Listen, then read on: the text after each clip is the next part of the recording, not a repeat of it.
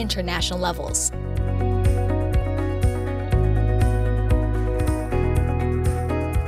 Collaboration is the key to progress and becoming a campus. UNESA collaborates with a number of international institutions in the field of industry, government, and educational institutions.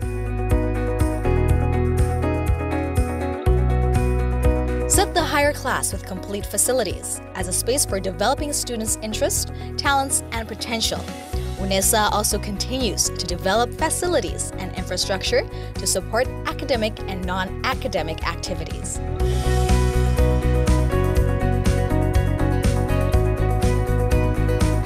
Futsal International Sports Arena, Container Students Dormitory, Sports Center, Language Center, Graha Unesa, Student Activity Center, Jogging Track, Equestrian Field, International Basketball Arena. Student Activity Units.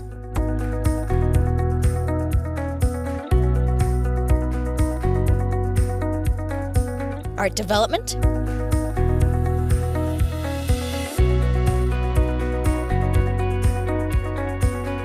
Character and Personality Building.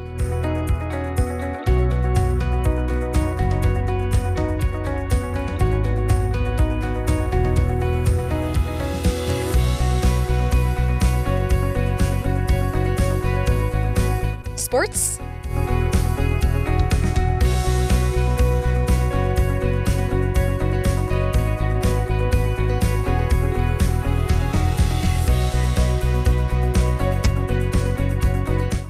Outdoor activities.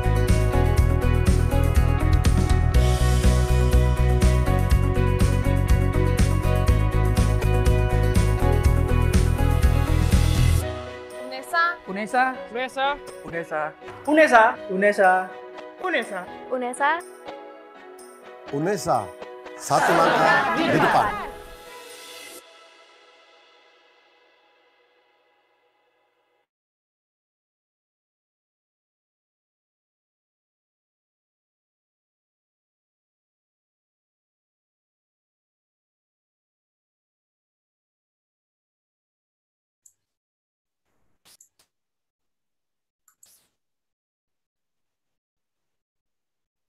Baik, eh, terima kasih. Acara akan kita mulai. Bismillahirrahmanirrahim. Assalamualaikum warahmatullahi wabarakatuh. Sahabat literasi UNESA yang saya hormati, selamat datang di Sarasehan Daring Nasional seri ke-6 yang diselenggarakan oleh Pusat Studi Literasi, Lembaga Penelitian dan Pengabdian kepada Masyarakat atau LPPM Universitas Negeri Surabaya. Sarasehan Daring Nasional ini mengambil judul asesmen dalam pembelajaran bahasa dan sastra. Kegiatan ini digelar melalui tiga media, yaitu grup Telegram, Zoom, dan YouTube. Saya, Hendrik Pandupaksi, akan memandu jalannya acara pada hari ini.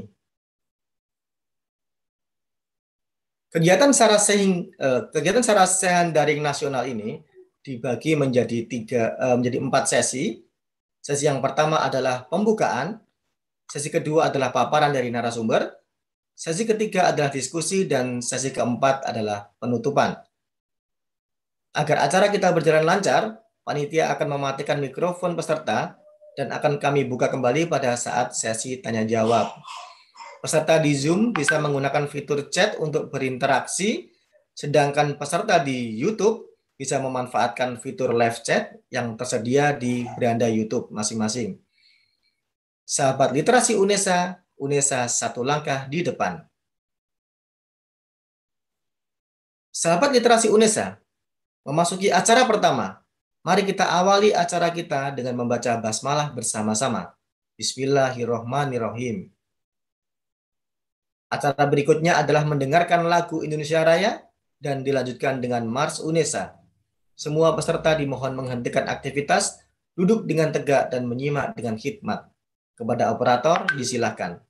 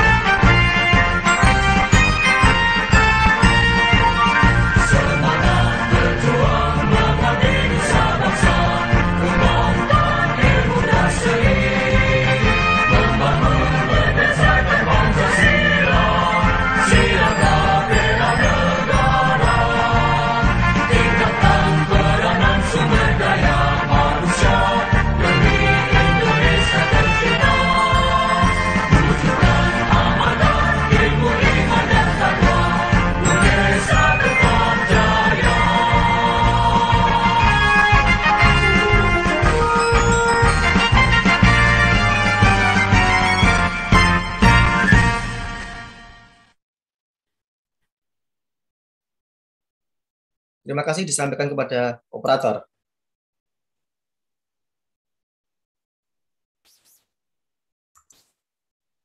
Acara berikutnya adalah laporan Ketua Panitia yang akan disampaikan oleh Dr. Endah Budi Rahayu MPD. Kepada beliau, ruang virtual kami berikan.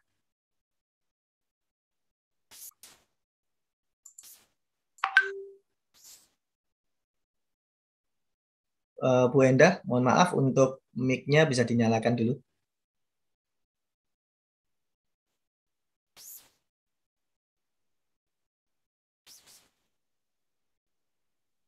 Uh, mohon untuk panitia Bu Endah dijadikan co-host dulu karena belum bisa membuka. Uh, Oke oke, J terima kasih, J terima kasih Pak Pandu. Assalamualaikum warahmatullahi wabarakatuh dan salam sejahtera untuk kita semua. Uh, Bapak Rektor UNESA yang kami hormati, yang dalam hal ini diwakili oleh Ibu Ketua LPPM, Ibu Profesor Dr. Darni M. Hum, Ibu Ketua Pusat Studi Literasi yang kami hormati, para narasumber yang kami hormati, para sahabat literasi UNESA yang kami banggakan, dan panitia Laskar Literasi UNESA yang berbahagia. Salam literasi. Uh, satu langkah, UNESA satu langkah di depan di bulan September tahun 2021 ini masih berada pada masa pandemi COVID-19 untuk menjalin tali persaudaraan, memperkuat ikatan sosial dan meningkatkan kecintaan pada dunia literasi, Pusat Studi Literasi LPPM UNESA kembali menggelar acara sadaring berseri pada saat ini adalah seri 6 Sajian Saresehan akan digelar tujuh kali pada tahun ini untuk mendukung salah satu program Kementerian Pendidikan dan Kebudayaan Riset dan Teknologi, yakni yaitu melaksanakan asesmen kompetensi minimum. Ibu Profesor Dr. Darmi M. Hum yang terhormat, saya laporkan Saresehan digelar melalui Sargram dan Zoom yang disertai media YouTube pada seri 6 ini, jumlah peserta sebanyak 481 untuk seri 1 sampai dengan 6, seri yang sekarang ini dengan peserta yang paling banyak, Ibu. Pendaftar cukup eh, tersebar gitu ya, dari Jawa, Madura, Sumatera, Kalimantan, Sulawesi, Bali, bahkan dari Papua pun ada dari Nabire, kemudian ada dari Timika, dari Bali, kemudian ada satu peserta dari Timur Tengah Selatan. Adapun narasumber pada seri ke-6 kali ini adalah Ibu Tati Dewardi PhD, yaitu dosen dari Universitas Islam Internasional Indonesia Eh, Jakarta. Kemudian yang kedua, Bapak Samsul Sotik MPD, dosen FBS UNESA. Kemudian Ibu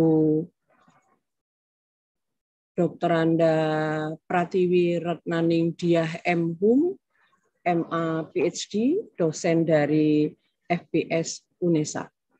Sedangkan yang akan memandu acara kali ini dan uh, jadi moderator adalah Bapak Hendrik Pandu Paksi SPD MPD, beliau dari dosen FIP UNESA.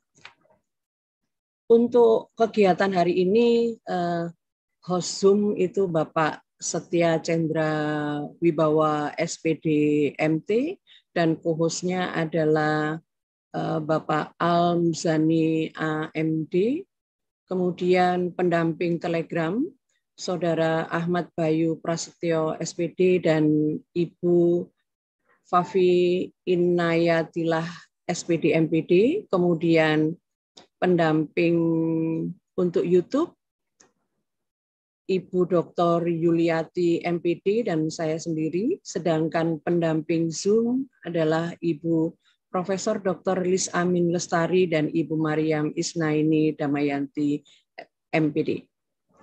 Seiring dengan pelaksanaan sadaring pada tahun ini, Pusdi Literasi LPPM UNESA menggelar juga lomba nasional menulis soal setara AKM untuk guru, dosen, dan mahasiswa dengan total hadiah Rp4.500 beserta sertifikat.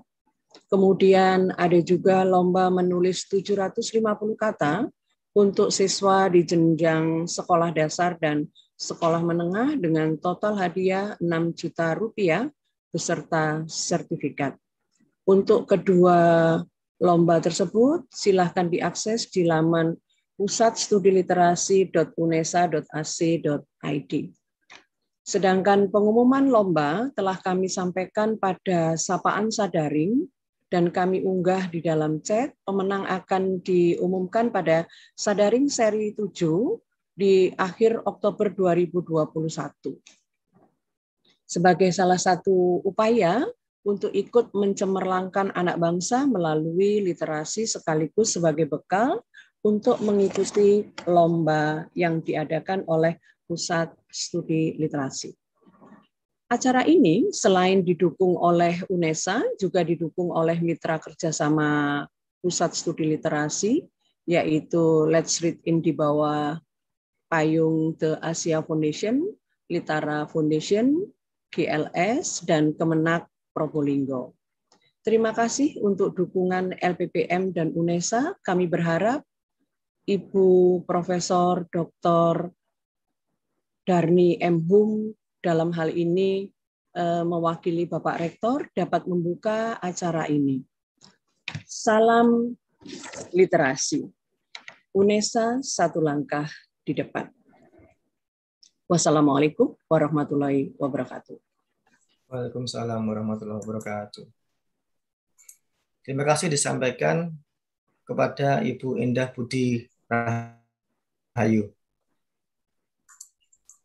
Acara berikutnya adalah sambutan Ketua LPPM UNESA dan dilanjutkan dengan pembukaan acara secara resmi kepada Profesor Dr. Darmi M. Hum, Mohon berkenan untuk memberikan sambutan dan membuka acara.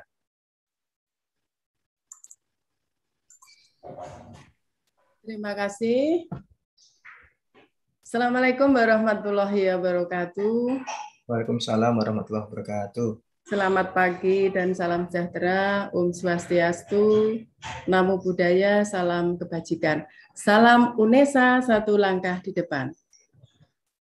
Yang terhormat uh, tiga narasumber, satu dari uh, luar dan satu dua dari UNESA dan juga uh, staf ahli yang telah mempersiapkan acara pada pagi hari ini.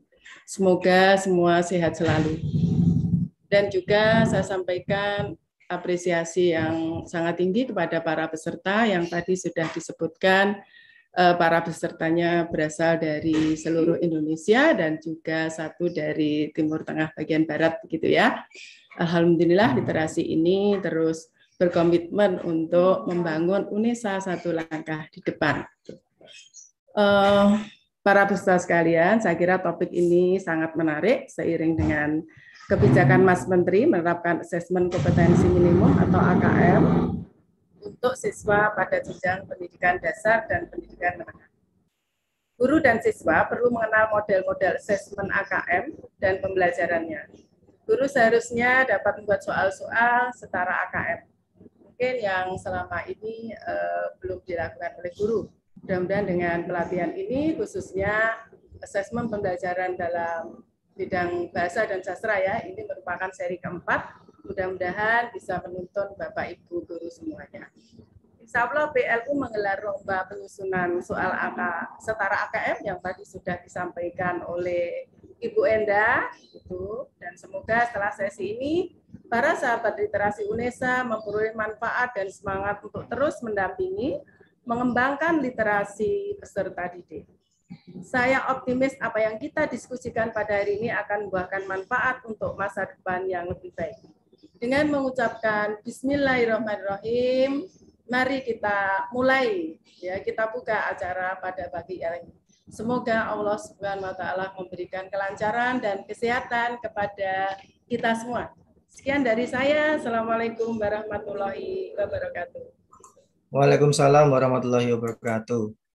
Terima kasih disampaikan kepada Profesor Dr. Dani M. Hum.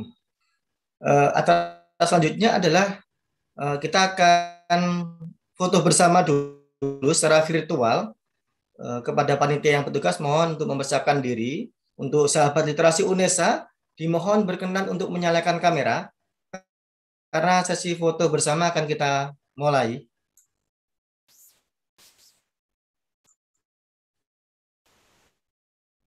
Uh, baik, nampaknya sudah ada yang sudah menyalakan kamera. Untuk operator mungkin bisa dibantu untuk uh, foto bersama. Untuk sahabat literasi Indonesia, tangannya bisa gini ya simbolnya. Ini simbol literasi kita. Untuk foto. Halaman pertama bisa diambil foto. Untuk peserta yang lain juga bisa mengambil foto secara pribadi ya jika memang memerlukan dokumentasi. Baik, halaman ke dua.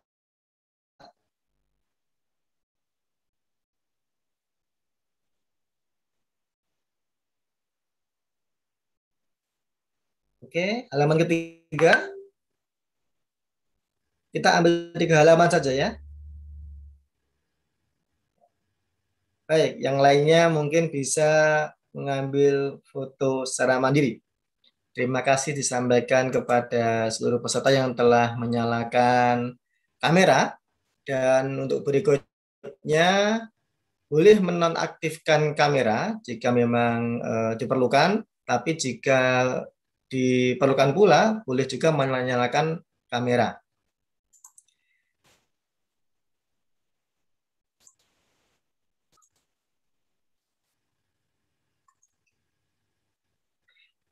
Baik sahabat literasi UNESA, acara kita selanjutnya adalah pembacaan doa yang akan dibawakan oleh Bapak Andi Yulianto, SSMSI, kepada Bapak Andi Yulianto, ruang virtual kami berikan.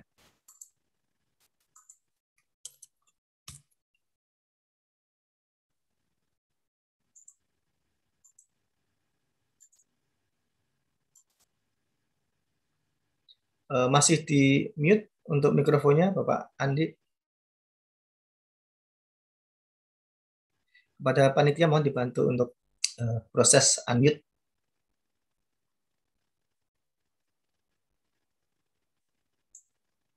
Di unmute Pak Andi.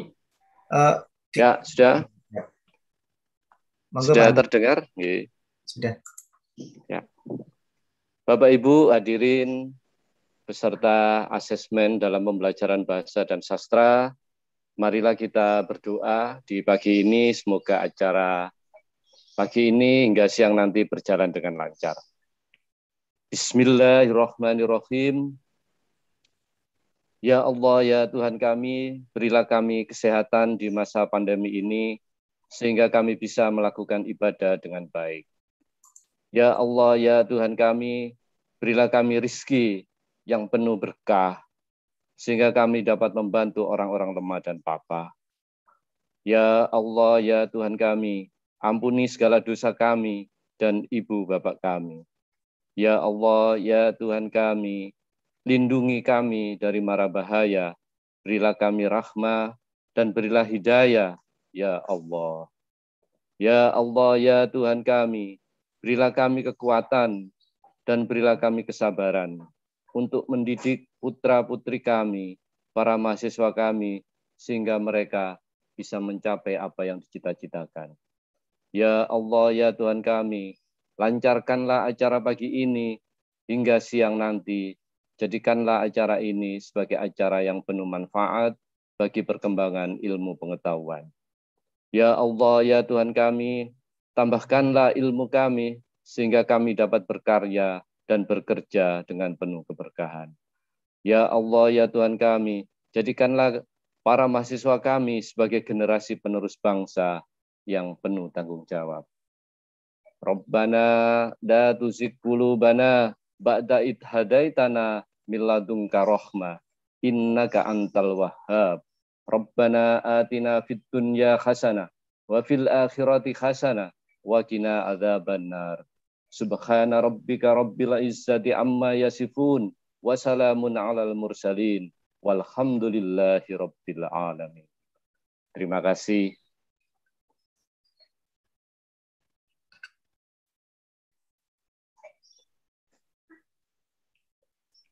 Ya. Terima kasih uh, disampaikan atas pembacaan doa. Uh, baik.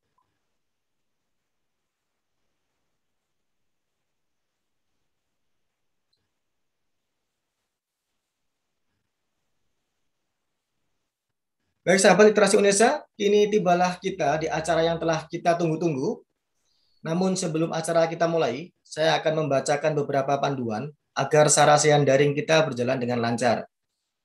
Yang pertama, selama sesi penyampaian materi, mikrofon peserta di ruangan Zoom akan kami matikan. Peserta di Zoom yang ingin menyampaikan pertanyaan atau berkomunikasi dengan panitia maupun peserta lain bisa dilakukan melalui fitur chat. Mikrofon akan kembali kami buka pada sesi tanya jawab nanti. Dan untuk peserta yang ada di YouTube, bisa berpartisipasi melalui fitur live chat yang tersedia di beranda YouTube masing-masing dan dimohon untuk tetap menjaga pedoman komunitas YouTube. Peserta yang berkenan untuk bertanya secara langsung dipersilakan mengaktifkan fitur raise hand untuk memudahkan panitia dalam mengorganisasi pertanyaan. Yang ketiga, peserta yang bertanya melalui fitur chat Zoom atau live chat YouTube dimohon untuk menuliskan nama, asal daerah atau instansi, dan kepada siapa pertanyaan tersebut ditujukan. Jangan lupa like, share, dan subscribe channel YouTube kami karena akan banyak sekali konten-konten yang dan informasi menarik yang akan kami bagikan tiap minggunya. Baik, akhirnya sambal terasi di atas meja. Selamat mengikuti Sadaring Literasi UNESA. UNESA satu langkah di depan. Sahabat literasi UNESA, untuk pemateri kita yang pertama adalah Ibu Tati Dewardi PhD. Di ruang virtual kami undang Ibu Tati sudah hadir bersama kita. Selamat pagi Ibu Tati. Selamat pagi Pak Hendrik Pandu Paksi. Saya panggilnya Pak Mas atau Pak Hendrik, Pak Pandu. Mas, mas saja Bu, biar nanti nggak terlalu tua. Oh, ya Mas Hendrik ya. Siap, siap. Uh, Ibu Tati, uh, sebelum penyampaian materi, izinkan saya untuk membacakan CV terlebih dahulu. Okay. Jadi Ibu Tati eh, bernama lengkap Tati Latipatut Duriah atau Tati Dewardi adalah Ketua Program Magister Ilmu Pendidikan pada Fakultas Ilmu Pendidikan Universitas Islam Internasional Indonesia. Indonesia ya. Beliau adalah penerima Fulbright untuk gelar master di Teacher College Columbia University, New York dan memperoleh gelar PhD di bidang pendidikan dari The Ohio State University. Minat penelitiannya berkisar pada pendidikan literasi dan pendidikan internasional, khususnya literasi digital dan media, pendidikan literasi berbasis sastra, dan juga sastra anak. Demikian CV singkat beliau telah saya bacakan. Selanjutnya kepada Ibu Tati, saya informasikan bahwa waktu pemaparan materi kurang lebihnya 20 menit. Ya. Kepada Ibu Tati, ruang virtual kami berikan. Silakan Bu Tati. Baik. Uh, Assalamualaikum warahmatullahi wabarakatuh. Selamat pagi Ibu Bapak semua. Sebelumnya saya ingin mengaturkan rasa hormat kepada yang mengundang saya, Profesor Dani M. Hum, terus tadi yang sudah membuka juga Profesor Budi Indah, Uh, terus saya ingin menyapa kawan yang belum pernah ketemu tapi kami sering kegiatan bareng yaitu Profesor Kishani yang mengontak saya. Terus juga kawan saya Ibu Tiwi yang merupakan panelis juga hari ini, Pratiwi Etnani yang eh, PhD dan Pak Samsul Sodik, Dr. Samsul Sodik sebagai eh, serkan panelis ya hari ini. Terima kasih Mas Hendrik dan terima kasih Bapak Ibu semua komunitas literasi UNESA yang menurut saya sangat uh, aktif dan saya aktif juga memantau, mengagumi gitu ya. Dan saya juga betapa generousnya selalu mengundang uh, saya ke UNESA. Ini pertama kali saya bisa sebelumnya sempat diundur karena uh, terkena COVID ya, uh, dan uh, ada kegiatan yang saya harus batalkan. Alhamdulillah hari ini kesampaian dan saya sangat uh, saya tidak uh, took it as grant, uh, for granted ya bahwa saya diundang. Jadi ini merupakan kehormatan luar biasa bisa ketemu sama Bapak Ibu semua. Mudah-mudahan dalam waktu yang 20 menit saya bisa menyampaikan apa yang saya sudah siapkan Terus uh, mungkin nanti ada beberapa bagian saya potong atau nanti Mas Hendrik tolong uh, ingatkan waktu agar saya jangan uh, mengambil waktu orang lain. Baik, saya akan mulai ya. Um, saya akan sudah siapkan PowerPoint. Um, bentar.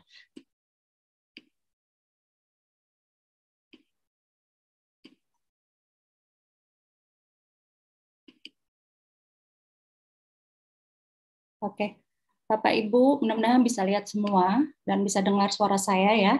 Uh, baik Bapak Ibu ini saya sudah siapkan hari ini saya sudah menyiapkan uh, topik yaitu asesmen dalam pembelajaran literasi baca. Um, saya khusus akan bicara tentang asesmen pembelajaran literasi baca karena uh, saya sudah kontak-kontakan sama Ibu Tiwi, jadi ada pembagiannya, jadi saya kebagian ini dan saya merasa uh, ini uh, yang saya ingin bicarakan dan saya sudah siapkan gitu. Jadi kalau ada yang bertanya soal bahasa atau sastra mungkin nanti akan disampaikan oleh Dr. Sodik ataupun Ibu uh, Tiwi PhD.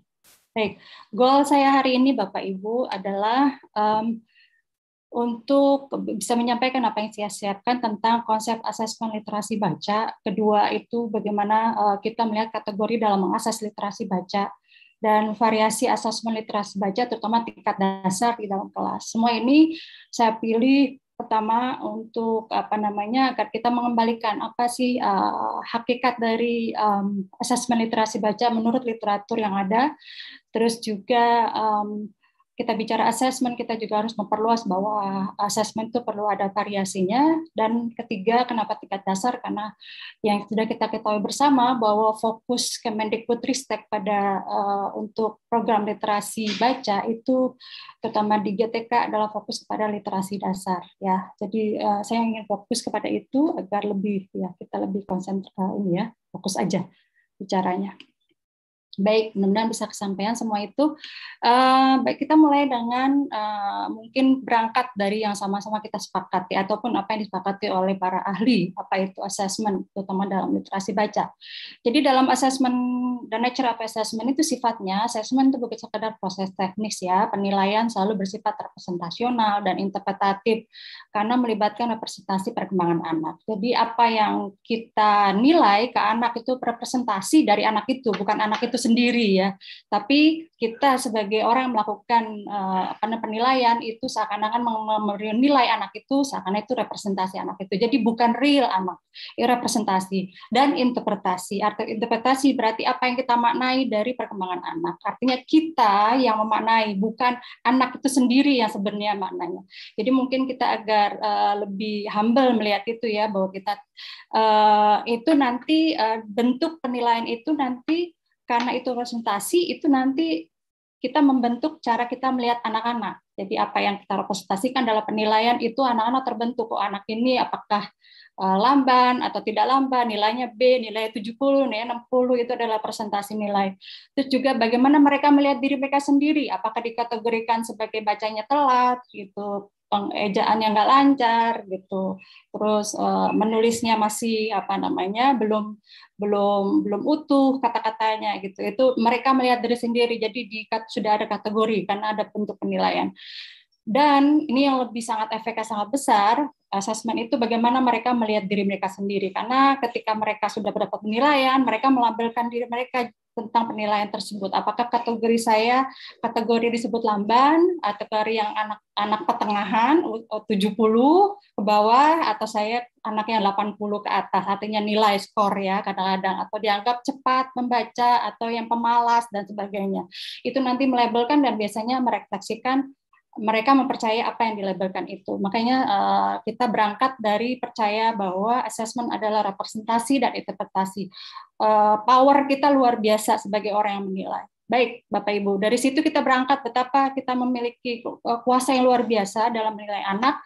Kita nanti terjemahkan bagaimana agar kuasa kita itu, power kita itu bisa kita gunakan, kita apa ya, kita mampu uh, memberikan data ataupun sumber-sumber di mana representasi itu adalah yang terbaik yang bisa kita berikan kepada anak. Selanjutnya ya, prinsip utama asesmen literasi baca ini saya ambil dari uh, uh, apa namanya ringkasan para ahli dari Asosiasi Literasi Internasional ILA dan NCTI yang merupakan dua organisasi besar ya dari para peneliti yang mengkaji literasi baca.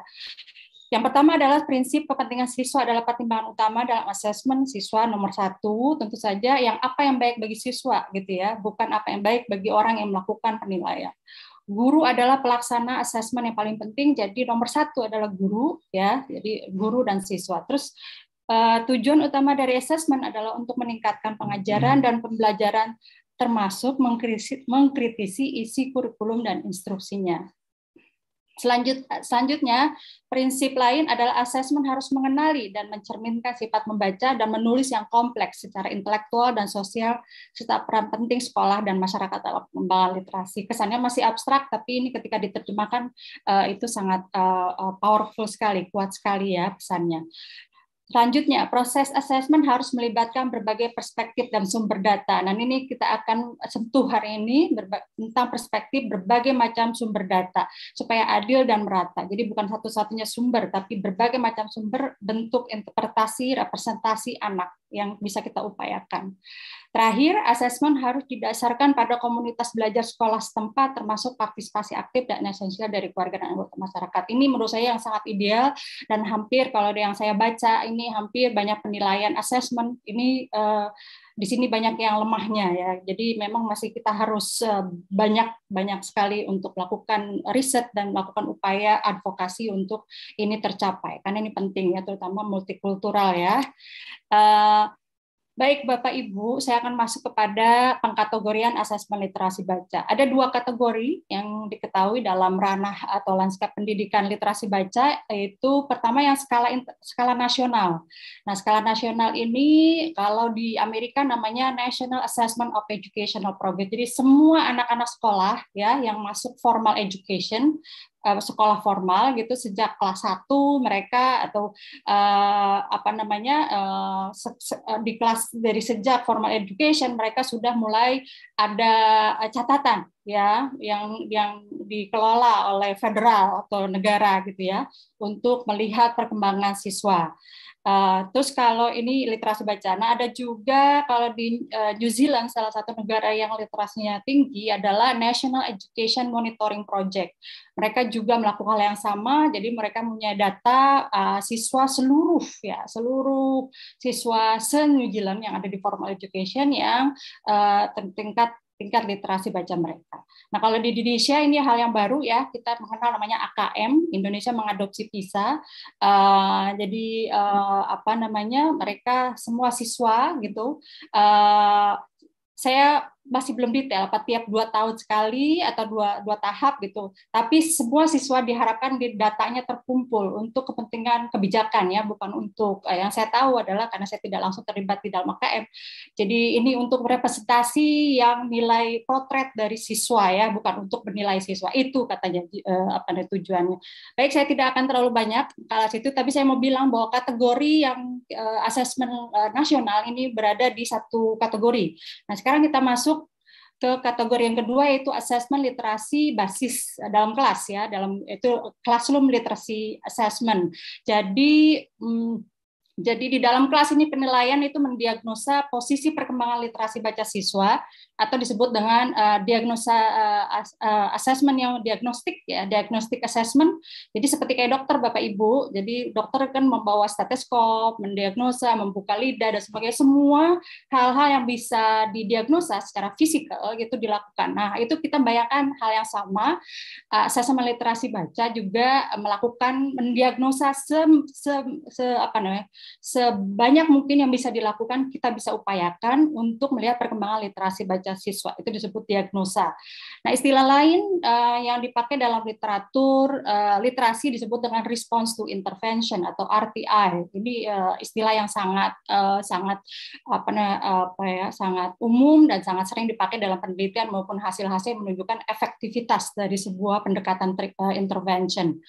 Uh, namanya agak serem ya response to intervention karena kan harus diintervensi. Ya ada sesuatu yang nggak benar nih ya dia harus diintervensi.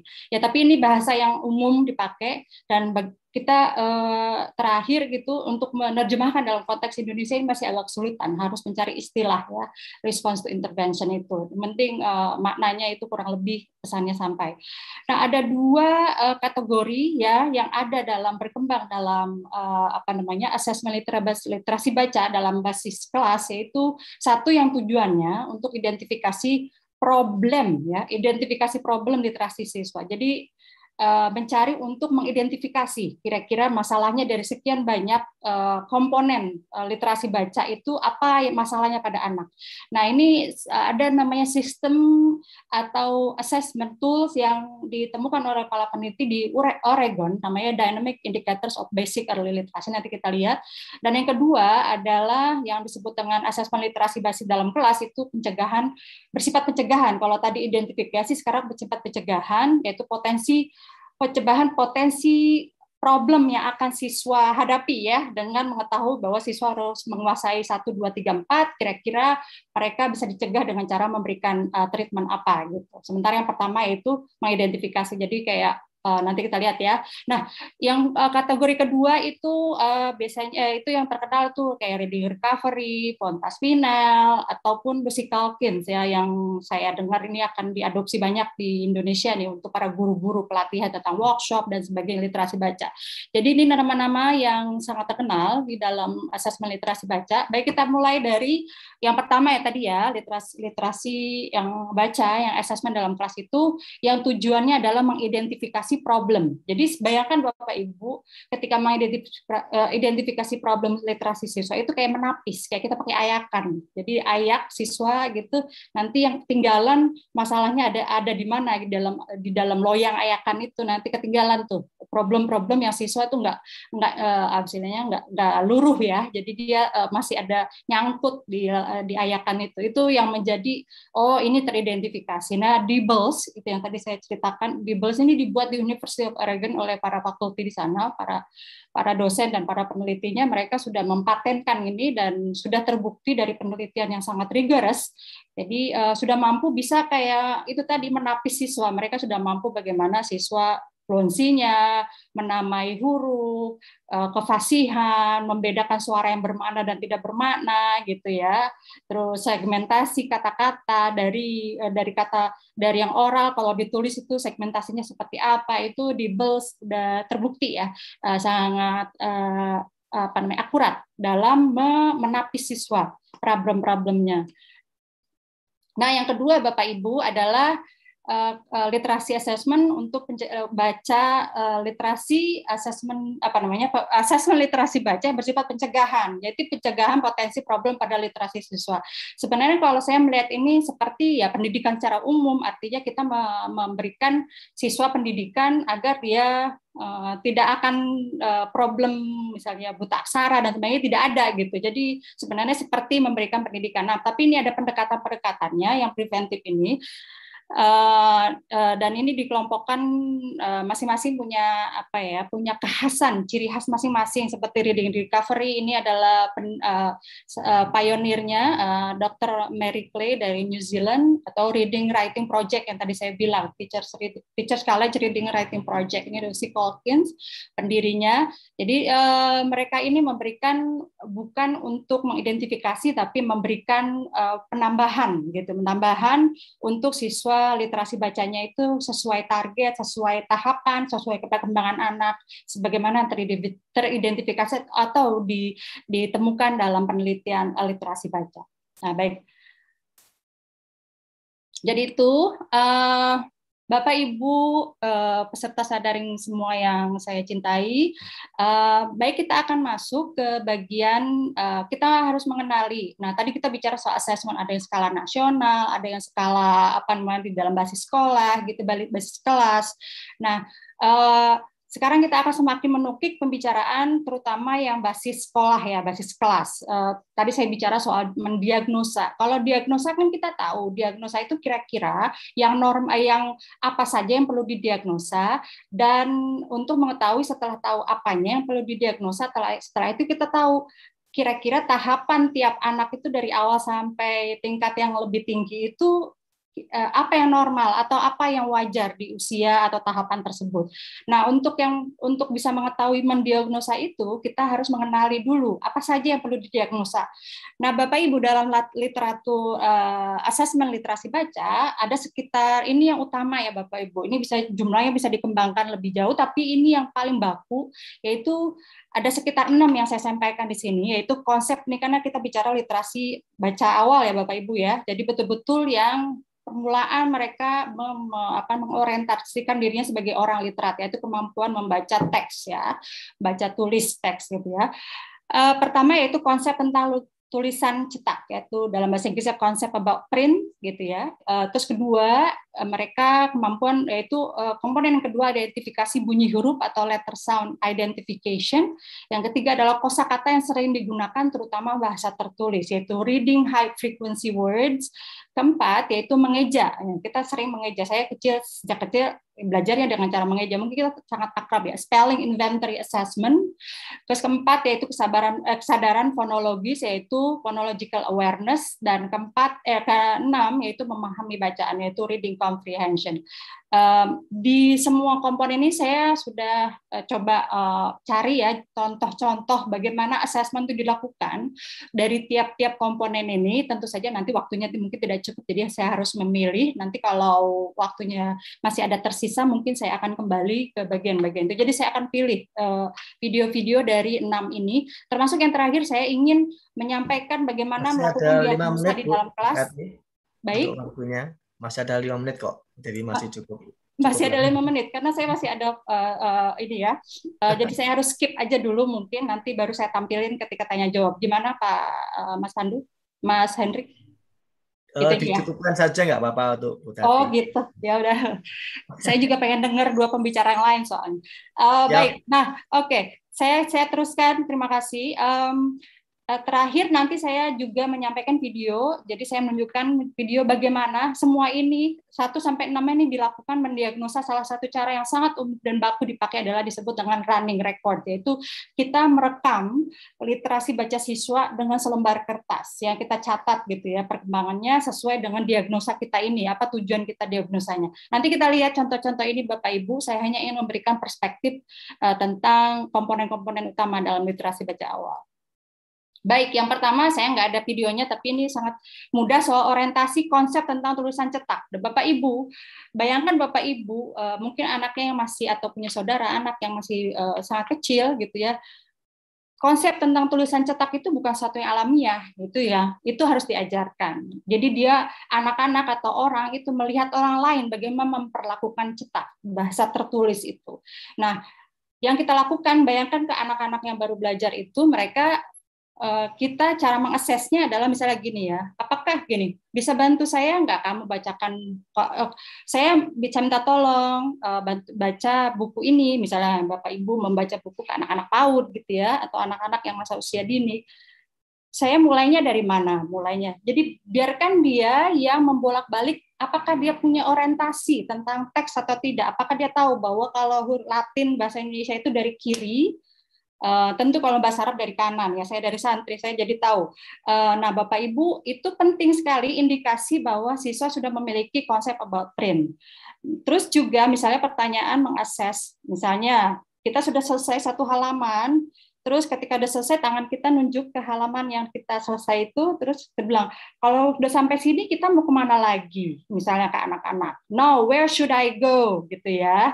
Nah, kalau dia mau, kalau dia konsepnya sudah mulai berkembang, dia akan dia agak istilah bahasa bahasa uh, non bahasa Indonesia kebet ya di di turn turn the page istilahnya kita kita buka halaman berikut. Nah kalau dia udah tahu dia tahu konsep tentang me, membalik halaman. Nah, itu dia konsep about print ya, karena itu memang spesifik kali bahasa tertulis. Terus juga misalnya seperti ya seperti itu bolak-balik halaman kanan atau kiri, membaca dari kiri ke kanan itu bukan konsep yang sangat sederhana Bapak Ibu untuk anak-anak yang baru. Jadi memang kita konsep tentang print ini mesti ada dalam diagnosa assessment kita. Uh, terus nah yang udah yang mungkin selain konsep itu konsep eh, kata-kata ya, misalnya kamu bisa tunjukin nggak uh, uh, ya, apa namanya misalnya kita bercerita satu misalnya atau uh, ada dua ada dua gajah. Nah kita minta anak itu coba tunjukkan dua. Misalnya dia dia tangannya menuju ke bawah angka dua atau tulisan dua atau ke gajah. Nah itu dia tak akan tahu. Dia bisa menyeimbangkan iya. apa yang dia dengar dengan apa yang tertulis. Eh, itu saja Bapak Ibu. Saya mencoba memberikan uh, apa perspektif bahwa ini sangat penting gitu orientasi tentang print ya bahasa cetak tulisan cetak. Nah sekarang adalah identifikasi bunyi huruf letter atau sound identification. Um, ini saya sudah siapkan videonya Uh, oke. Okay.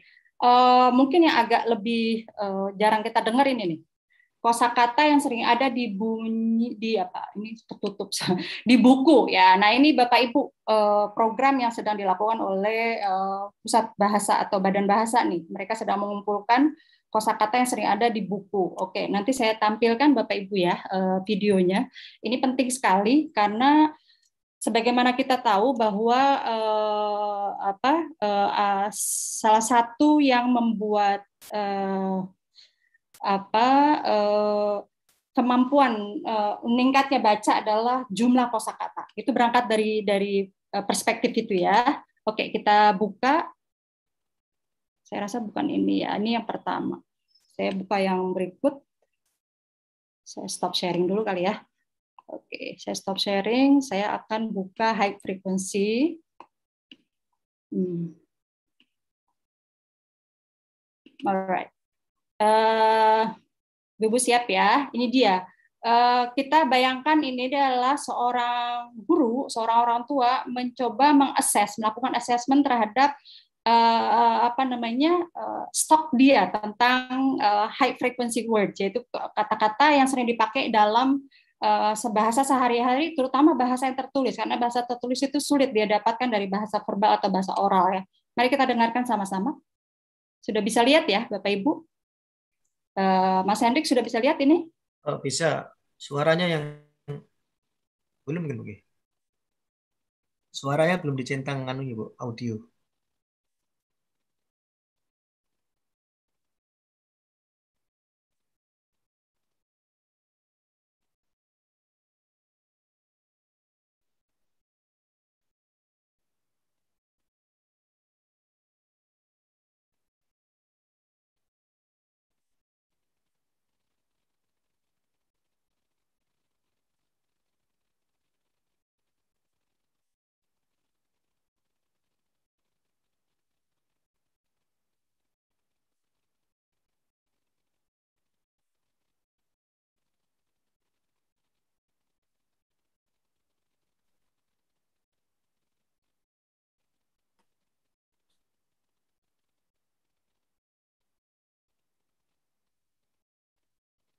Mbak Tati, ya. mungkin bisa stop share dulu. Ya. Uh, kemudian di sebelah kiri bawah itu ada uh, share computer sound. Itu perlu dicentang. Oh, tidak ada suaranya ya? Ya, hmm. sebelum di share itu ada ada kotak sebelah kiri bawah. Hmm. Share computer sound, baru kemudian klik share. Bentar ya. Saya selalu tahu kalau pakai melibatkan video pasti aja ya. ya. Bentar. Oke, saya ulangi berarti share screen terus ulangi Bu. Hmm, sebelah kiri bawah. Sebelah kiri bawah ada share computer sound. Oh, saya lain ini share sound. Nah, that's it. Ah, ya, ya, ya. baru ya kemudian klik share. Iya. Makasih Bu. No problem. Bentar ya. Sabar. Eh, kok gini? Ya, tinggal dipencet play saja. Bentar.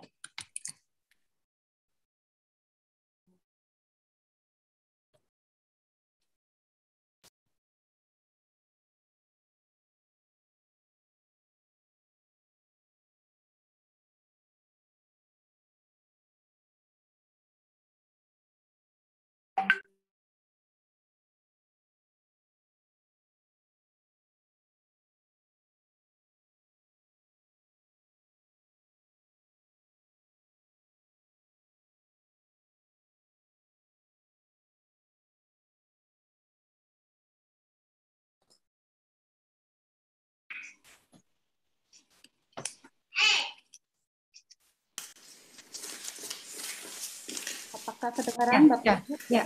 Ya. Saya mulai dari awal kali ya. and you read the ones that you know. Don't worry about the ones you don't know. No. Oke. Cold. Sudah, sudah terdengar.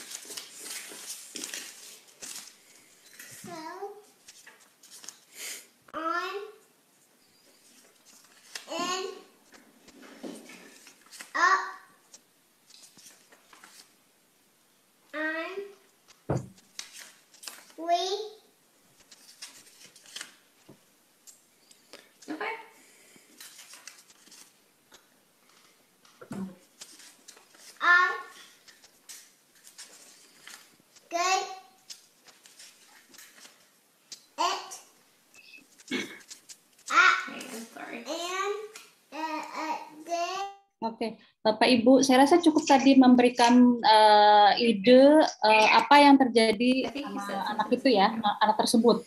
Jadi Bapak Ibu harus matikan nih. Eh, Videonya harus saya matikan. Me. Me. One. Two. Three.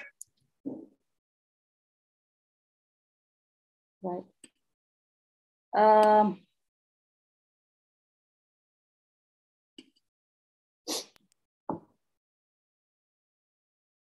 Seperti yang Bapak Ibu lihat eh, tadi eh, ada beberapa kita tahu kita tahu tadi ya bagaimana seorang yang mengakses dan anak ini pasti usia yang awal ini eh, atau mungkin masih PAUD ya. Tapi kayaknya usianya dia berapa tuh? Eh, udah masuk SD gitu.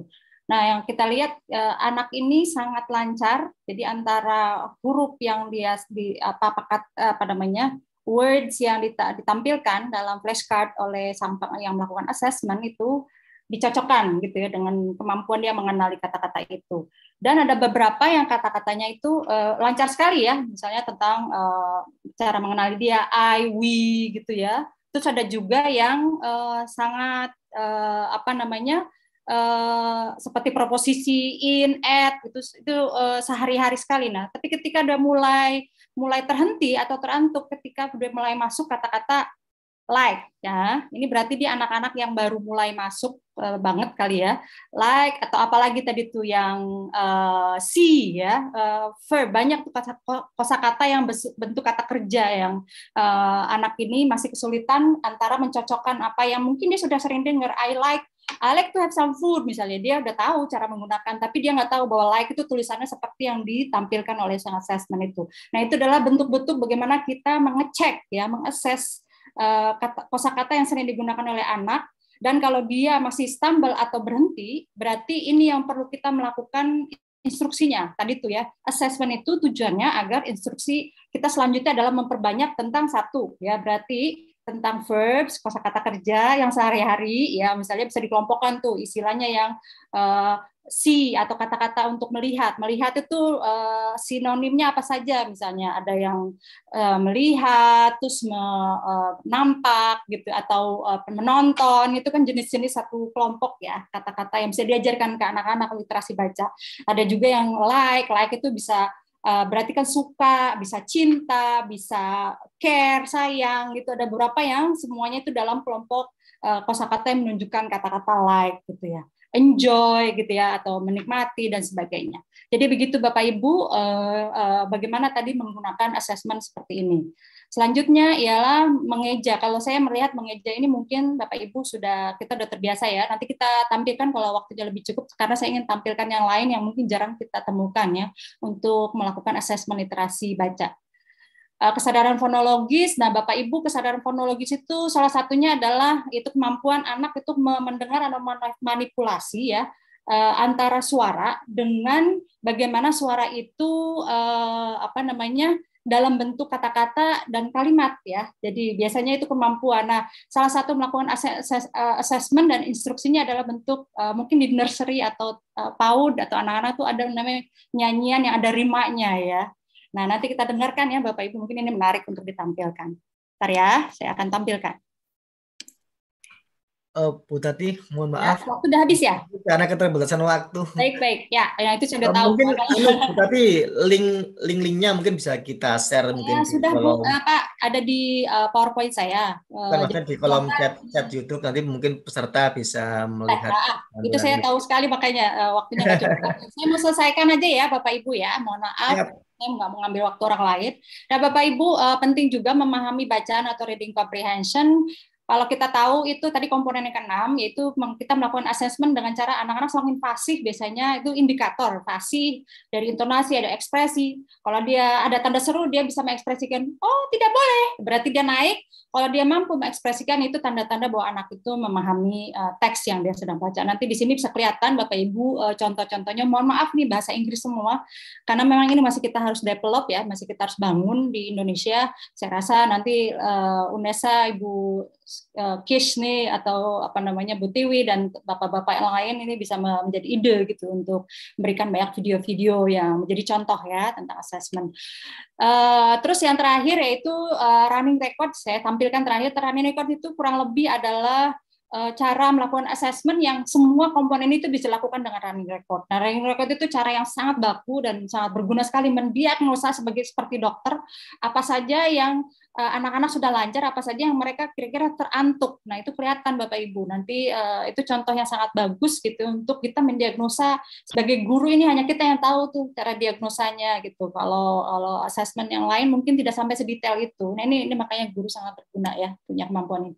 Terakhir ya saya mau menyimpulkan agar kita tahu kenapa eh, apakah Eh, kenapa assessment dan diagnosa itu kira-kira sangat uh, apa namanya penting? Pertama kita sebagaimana kita lihat tadi pengkategorian dalam literasi assessment baca itu apa assessment literasi baca itu AKM membuka satu-satunya cara mengakses. Itu adalah satu dari sekian cara mengakses literasi baca siswa.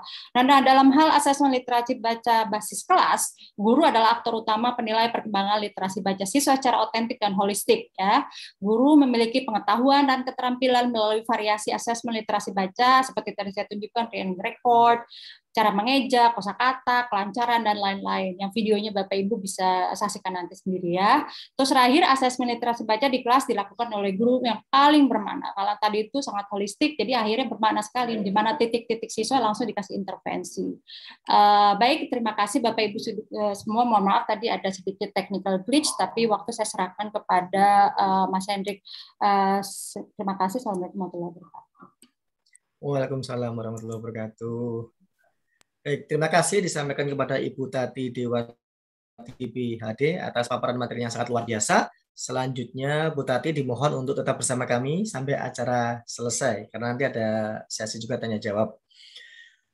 Uh, baik, sahabat literasi UNESA, uh, kita akan menuju pemateri yang kedua kita,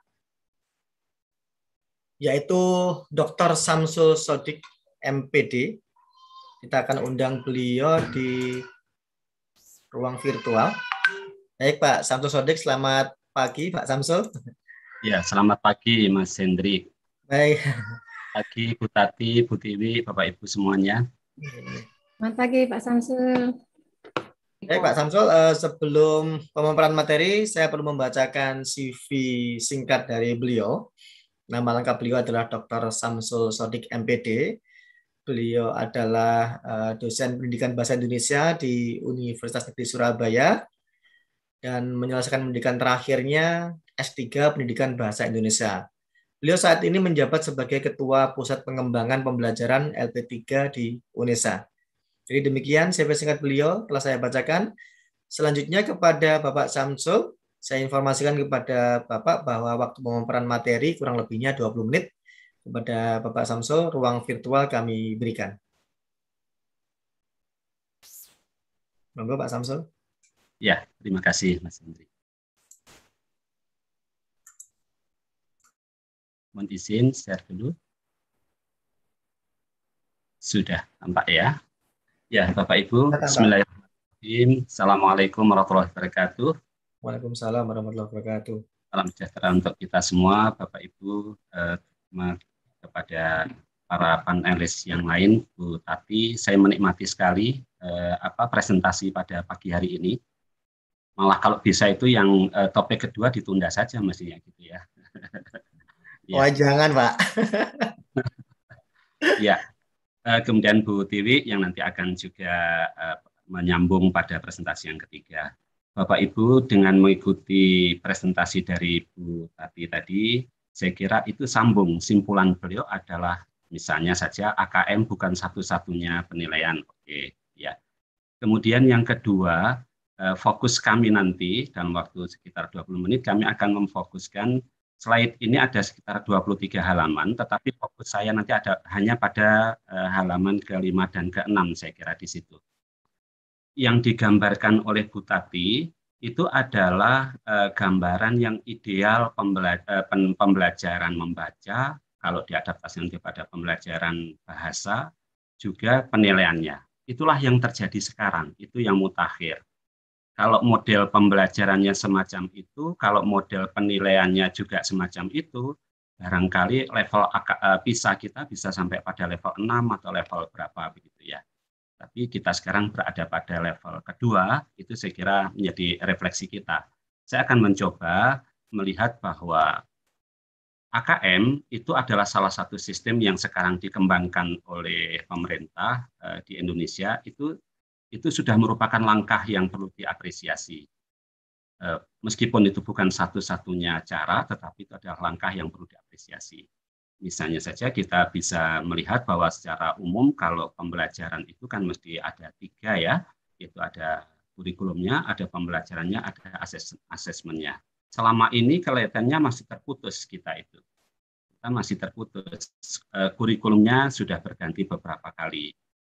Dan ketika kurikulum ber berganti itu sepertinya hebohnya luar biasa. Padahal kalau saya berpikir eh, kurikulum berganti itu berkembang. Nanti akan kita lihat. Kebetulan saya menemukan ada buku yang ditulis oleh Pak siapa Sekretaris Kemendikbud waktu itu tahun eh, 2009 kalau tidak salah itu eh, menulis struktur apa sejarah kurikulum yang nanti akan kami sampaikan jadi fokus kami pada kali ini. Kemudian kurikulum itu sudah berkembang, kemudian pembelajarannya juga berkembang, asesmennya juga berkembang, tetapi mengapa perkembangannya kok seperti jalan di tempat? Kita mencoba melihat salah satu kebijakan yaitu asesmen nasional sebagai sebuah kebijakan bahwa asesmen itu bertujuan untuk memberi gambaran tentang karakteristik esensi sebuah sekolah yang saya blok merah ini jadi sasarannya adalah untuk melihat karakteristik esensi sebuah sekolah. Selama ini kan kita berpikir kalau yang namanya asesmen itu bertujuan untuk e, mengukur keberhasilan siswa saja. Ini tidak. E, kelihatannya Kemendikbud sudah mulai agak repot selama ini apa sih masalahnya kira-kira begitu ketika dirumuskan akhirnya muncul bahwa yang harus disorot adalah sekolahnya jangan hanya anaknya yang kedua dalam esensi sebuah sekolah itu salah satunya adalah ciri pengajaran yang baik yang di dalamnya adalah pengajaran bahasa. Jadi kita akan berangkat dari skrup kecil, komponen kecil pengajaran bahasa itu bagaimanakah bisa meningkat yang nanti harapannya sumbangannya bisa meningkatkan eh, apa kompetensi siswa. Kemudian ada kebijakan lagi mengapa yang di, eh, dikembangkan kok hanya numerasi dan literasi. Saya kira kita semua sudah tahu jawabannya. Ini kebijakannya bahwa literasi dan numerasi itu adalah kompetensi yang sifatnya general, yang sifatnya mendasar. Nah, coba kita lihat apa kaitan literasi dengan bahasa. Misalnya saja kalau kita lihat dari dokumen AKM itu bahwa literasi adalah kemampuan memahami, menggunakan, mengevaluasi, merefleksikan berbagai jenis teks. Ini kalau kita renungkan sebenarnya sudah sudah peningkatan yang luar biasa memahami, menggunakan, mengevaluasi, merefleksikan berbagai jenis teks. Jadi teksnya tidak tunggal. Kita sebagai guru bahasa saya kira perlu merefleksikan apakah selama ini ketika mengajar saya sudah menggunakan teks yang beragam. Lazimnya kita kan masih teks tunggal. Eh, jadi ini problem problemnya. Kemudian yang kedua untuk mengembangkan kapasitas individu sebagai warga Indonesia dan warga dunia. Jadi tujuan untuk literasi adalah mengembangkan kapasitas eh, siswa sebagai warga Indonesia dan warga dunia. Berarti standar-standar yang yang mutakhir yang tadi disampaikan oleh Bu Tati itu eh, bagian dari sasaran pengembangan literasi. Itu yang diharapkan. Sementara eh, konsep bahasa itu adalah kita ambil aja yang konsep yang agak belakang pembelajaran bahasa adalah pembelajaran kompetensi komunikatif. Di dalam pembelajaran kompetensi komunikatif, misalnya yang agak awal disebutkan unsurnya ada tata bahasa, ada kewacanaan, ada sosiolinguistik, ada strategi. Strategi itu uh, komponennya ada membaca, berbicara, menulis, dan sebagainya. Itu yang agak awal ini, yang tahun 80-an. Eh, apa komponen ini saja tampaknya kita belum selesai, belum tuntas pembelajaran bahasa. Tampaknya di wilayah ini belum tuntas komponen kebahasaan, iya kebahasaan. Tetapi kita lihat potret kita selama ini nanti. Kita akan lebih banyak melihat ke sana. Kemudian yang agak di agak uh, memperbarui lagi uh, misalnya Chelsea Murcia dia mengatakan bahwa kompetensi itu ada wacana, sosiokultural, aksional, kebahasaan dan strategi. Ini contoh bahwa berkait dengan ini bahasa itu bukan sekadar pengetahuan fonologi, morfologi, bukan, tetapi bahasa itu adalah aksi berkegiatan. Bahasa itu adalah kata kerja. Maka dalam eh, eh, boleh kita lihat dulu sejarahnya yang saya janjikan tadi dari buku ini yang ditulis oleh Pak Didik ya Pak Didik. Jadi koordinator Pak Didik ini kita bisa melihat dari konsep pembelajaran bahasa secara filosofis nggak ada masalah, sebenarnya perkembangannya normal dari behavioristik, struktural, kemudian berkembang menjadi kognitif, linguistik generatif, yang sekarang kita berada pada era konstruktivistik, yaitu kompetensi komunikatif. Secara filosofis nggak ada masalah. Tetapi e, nanti kita lihat implementasinya di kurikulum kita. Kita mulai punya kurikulum pertama itu tahun 48, dua tahun setelah Indonesia merdeka. Kemudian kurikulum mulai terkumpulkan itu tahun 68, berbasis materi. Nah, di sinilah ketika kita berbasis materi, itu ketika kita mengajarkan bahasa, ya arahnya kepada pengetahuan tentang bahasa. 68. Tapi eh, kalau dilihat dari kom, ini bukan bukan dulu lemah sekarang baik, bukan begitu, tapi memang konteksnya, konteks sosiologisnya begitu kebutuhannya. Eh, kalau kita lihat eh, kurikulum 68 itu materi yang banyak diajarkan adalah materi ada sastra lama, ada gurindam, ada syair dan sebagainya menjadi materi utama. Mengapa kok itu menjadi materi utama pembelajaran bahasa? Karena kelihatannya waktu itu disampaikan bahwa tujuan pembelajaran bahasa adalah untuk membentuk sikap. Eh, sehingga wajar kalau saat itu berbasis materi. Dan wajar juga kalau asesmennya saat itu adalah asesmen pengetahuan. Berkembang tahun 75 mulai ada pemikiran bahwa berbahasa itu adalah berperilaku, behavioristik misalnya, maka eh, pembelajaran bahasa orientasinya pada tujuan tahun 84 ada eh, apa ada pembaharuan lagi. Kalau saya melihat eh, pembaharuan itu adalah perkembangan yang positif. Ada perkembangan, jangan hanya aktivitas tetapi aktivitas yang berorientasi kepada eh, pragmatik. Maka muncul saat itu tahun 84 eh, yang has, harusnya itu adalah bahasa dalam praktek, bahasa yang dikaitkan dengan sosiolinguistik, bahasa yang dikaitkan dengan siapa yang berbicara, di mana dia berbicara, tapi pemahaman kita pada kurikulum tahun 84 yang terjadi adalah pragmatik sebagai salah satu pokok bahasan. Ada membaca, menulis, berbicara, salah satunya adalah pragmatik eh, di situ. Nggak apa-apa, itu perkembangan kita pada saat itu. Eh, kemudian setelah pasca reformasi membawa perubahan yang luar biasa, saya kira eh, pada pembelajaran bahasa eh, dan juga termasuk pada penilaiannya. Dimulai dari tahun eh, 99 reformasi pendidikan nasional setelah setahun setelah reformasi nasional mulai dirumuskan draft kurikulum 2003 mulai diuji coba 2004 tahun 2006 resmi muncul ada pendekatan komunikatif dalam bentuk orang sekarang menyebutnya KTSP. Apa esensi dari pembelajaran bahasa di era KTS, di era KTSP itu? Pendekatan komunikatif, pembelajaran bahasa ditafsirkan sebagai keterampilan berbahasa. Dan keterampilan berbahasa itu lebih banyak kepada performatif, performatif yaitu empat keterampilan, membaca, berbicara, menulis. Maka komponen pembelajaran bahasa ke sana.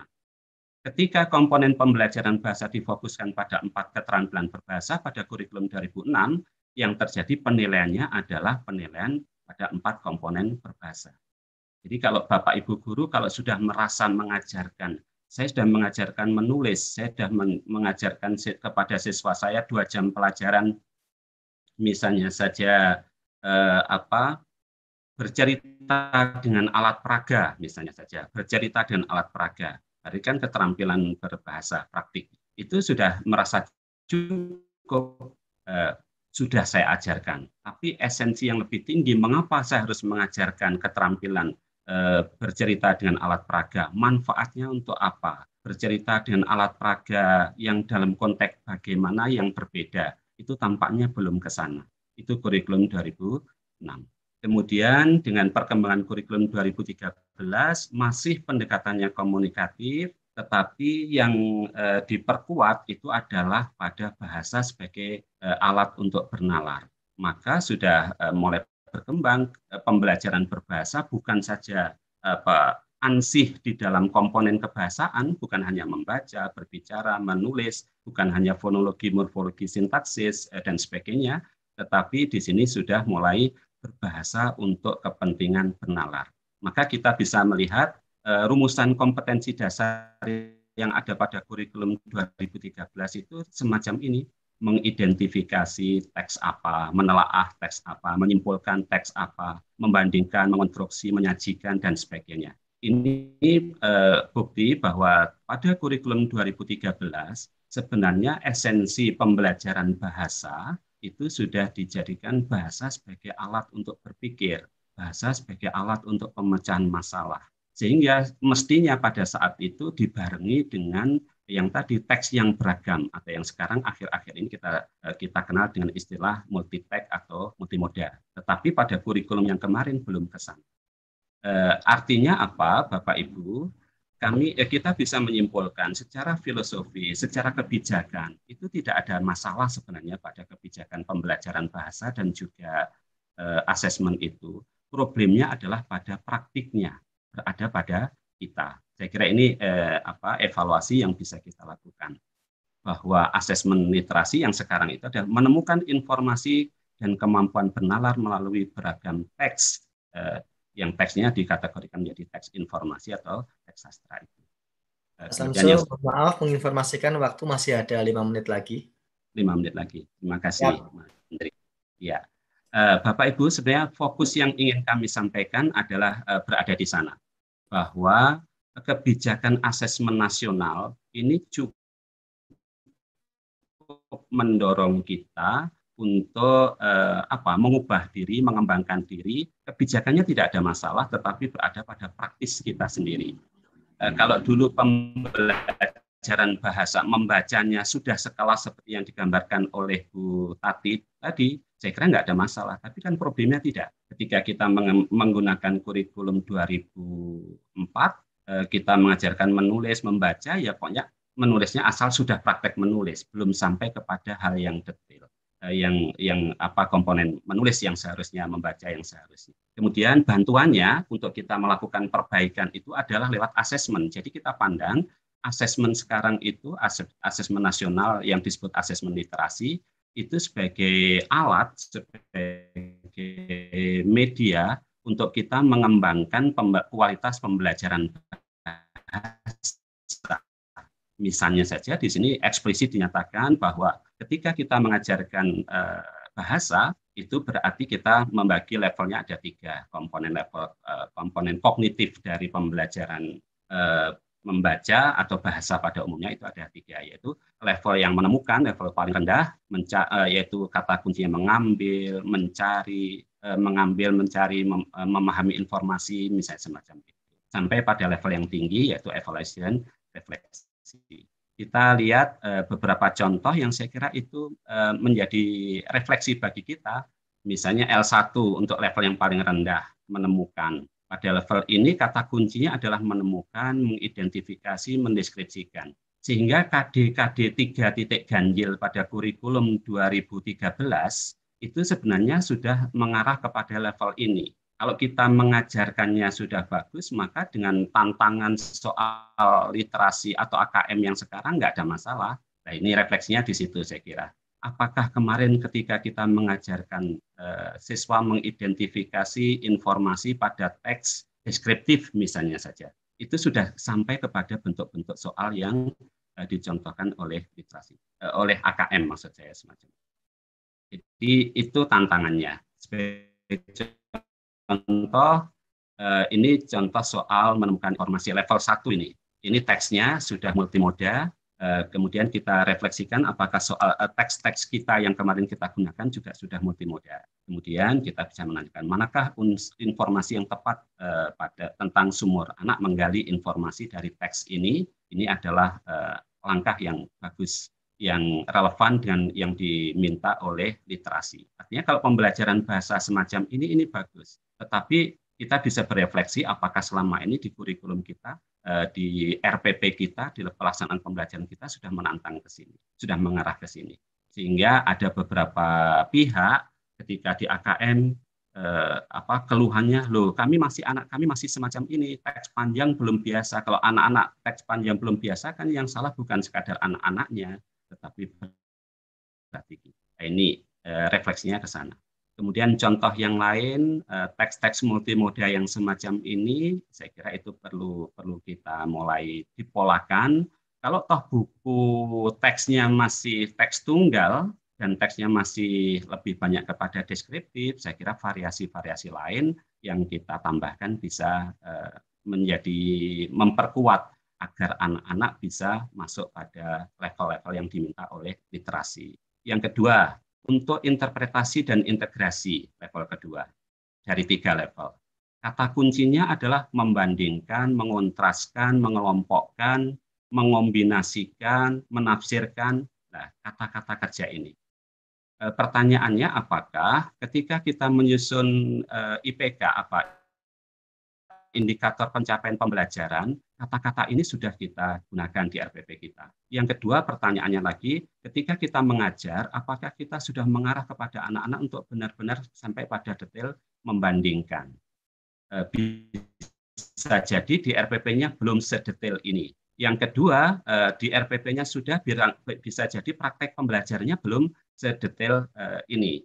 Atau membandingkan itu ya sampai kepada membuat bandingan yang detail persamaannya apa, perbedaannya apa. Karena itu pertanyaan yang berikutnya adalah apakah kita sudah menggunakan eh, berbagai apa alat yang disebut yang sekarang lebih populer dengan istilah strategi literasi. Kalau 20 tahun yang lalu barangkali sebutannya adalah eh, apa strategi belajar, strategi belajar siswa misalnya. Jadi eh, apa untuk sampai bisa memahami yang semacam ini variasi soalnya juga bisa dibuat variasi yang bisa lebih dari satu jawaban benar eh, hanya sekedar membedakan mana yang fakta mana yang opini ini anak sudah terbiasa berdekat-dekat dengan teks. Kata kuncinya saya kira eh, asesmen yang bagus itu adalah asesmen yang baru bisa dijawab eh, menjawabnya dalam proses menjawabnya apabila dia harus menggeluti teks secara baik. Kemudian yang level terakhir eh, yaitu untuk level meng, e, merefleksikan dan mengevaluasi, kata kuncinya adalah menilai, merefleksi, dan menyetujui. Ada contoh soal yang dikembangkan oleh AKM semacam ini, jadi ada ada teks yang multimodal semacam ini. Ini saya kira pertanyaan yang belum banyak dilakukan oleh kita sebagai guru bahasa. Di guru bahasa itu biasanya kalau ada teks, pertanyaannya general.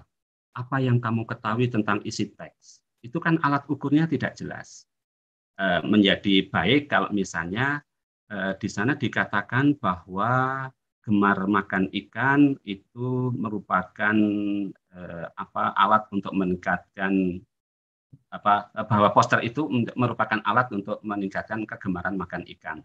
Setujukah kamu? Setuju alasannya apa? Tidak setuju alasannya apa? Dikatakan bahwa misalnya sistem transportasi di Indonesia itu masih eh, belum ideal, eh, terutama transportasi darat. Setujukah kamu? Apa alasannya? Tidak setuju? Apa alasannya?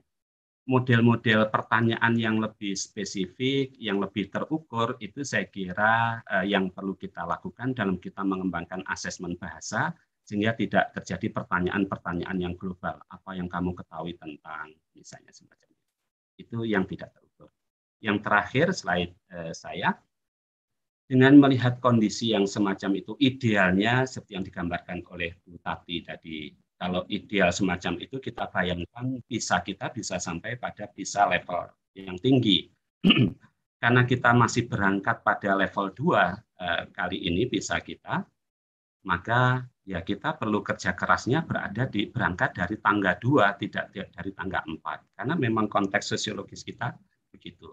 Ada tiga hal saya kira yang eh, bisa kita lakukan sebagai guru bahasa untuk meningkatkan eh, apa untuk mengembangkan asesmen pembelajaran bahasa yang ujungnya nanti bisa meningkatkan kualitas pembelajaran bahasa. Yang pertama adalah kita menggunakan beragam strategi literasi. Atau kalau dulu oleh eh, siapa itu Brown eh, di buku ini disebut sebagai strategi belajar dikatakan ada tiga strategi belajar, ada kognitif, ada metakognitif, ada psikomotor, ada sosio, eh, ada apa sosiologis atau apa yang ketiga di buku ini ada. Kemudian eh, sekarang sudah berkembang lagi sangat eh, sangat banyak tentang beraga, tentang strategi literasi dan kalau dulu di bukunya siapa Brown itu masih potong-potong sekarang pada buku-buku tentang strategi literasi termasuk yang dikembangkan oleh Bu Tiwi dan kawan-kawan yang ini baru grace ya Bu Tiwi ya baru minggu dua hari yang lalu ini dan sebelah kiri ini eh, strategi literasi ini eh, formatnya sudah sudah lebih lebih aman. Yang kedua eh, maaf, saya, saya ingin menggarisbawahi, strategi literasi itu strategi siswa dalam memecahkan masalah, bukan strategi guru dalam pembelajaran. Berbeda di sini ya. Jadi lah gurunya apa? Ya strategi pembelajaran guru yang membiasakan siswa menggunakan beragam strategi literasi yang sesuai dengan tuntutan teksnya. Yang kedua, untuk mengembangkan strategi literasi ini, saya kira supaya materi kita detail, supaya bahan-bahan yang kita ajarkan uh, terstruktur dan uh, secara bagus, kita perlu bantuan alat pengatur grafis. Yang di buku Butiwi ini sudah dirancang lebih detail juga uh, tentang pengatur grafis itu paling tidak di sini ada contohnya ada berapa? 19 atau berapa itu. Yaitu ada perlu ada diagram Venn kalau memang membandingkan. Jadi tidak semuanya diverbalkan. Ada misalnya tabel-tabel tertentu, ada peta konsep dan sebagainya. Yang ketiga, yang terakhir, untuk penguatan pembelajaran, eh, untuk pembelajaran bahasa yang menguatkan literasi, yang otomatis itu adalah menguatkan tujuan pembelajaran bahasa sebagai alat bernalar atau berpikir, itu adalah menggunakan teks yang multimoda terbatas pasti eh, tidak mungkin kalau dari pemerintah Kemendikbud itu me, menyajikan teks tercetak yang bervariasi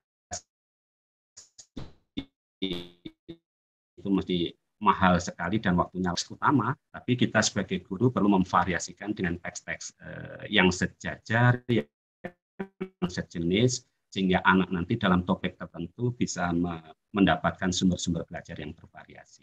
Saya kira itu yang bisa saya sampaikan. Semoga bermanfaat. Saya kembalikan kepada Mas Hendrik. Assalamualaikum warahmatullahi wabarakatuh. Waalaikumsalam warahmatullahi wabarakatuh. Uh, terima kasih Pak Samsul Sodik atas pemaparan materi yang sangat luar biasa. Dan untuk Pak Samsul dimohon untuk tetap di ruangan ini sampai acara selesai. Nah, ya. sahabat literasi UNESA, kita akan ke pemateri ketiga dulu sebelum kita nanti akan lanjut ke sesi tanya jawab. Pemateri ketiga adalah Ibu Pratiwi Retnaningdia. Kita undang beliau di ruang virtual. Selamat siang Bu Pratiwi. Selamat siang Mas Hendrik, Mas Pandu. Apa kabar Bu Pratiwi? Sehat ya? Baik, sehat. Sehat, sehat. Alhamdulillah. Semoga Mas Pandu juga tetap sehat. Amin, amin. Oke, Bu Pratiwi, sebelum pemaparan materi, izinkan saya untuk membacakan CV terlebih dahulu secara singkat. Jadi, beliau adalah uh, Ketua Jurusan Bahasa dan Sastra Inggris yang kemudian juga anggota Satgas GLS Dijen PAUD Dikdasmen, kemudian saat ini aktif di Pusdi Literasi UNESA. Beliau juga eh, menjabat sebagai anggota dan juga pengurus Indonesian Extensive Reading Association atau IERA begitu dan beliau saat ini bergelar PhD yang telah menyelesaikan studinya di Cultural Studies University of Melbourne Australia begitu. Baik Ibu Pratiwi, saya informasikan bahwa waktu untuk presentasi kurang lebihnya 20 menit yang nantinya akan kita lanjutkan dengan tanya jawab gitu. Kepada Ibu Pratiwi, ruang virtual kami serahkan. Monggo Ibu Pratiwi. Ya.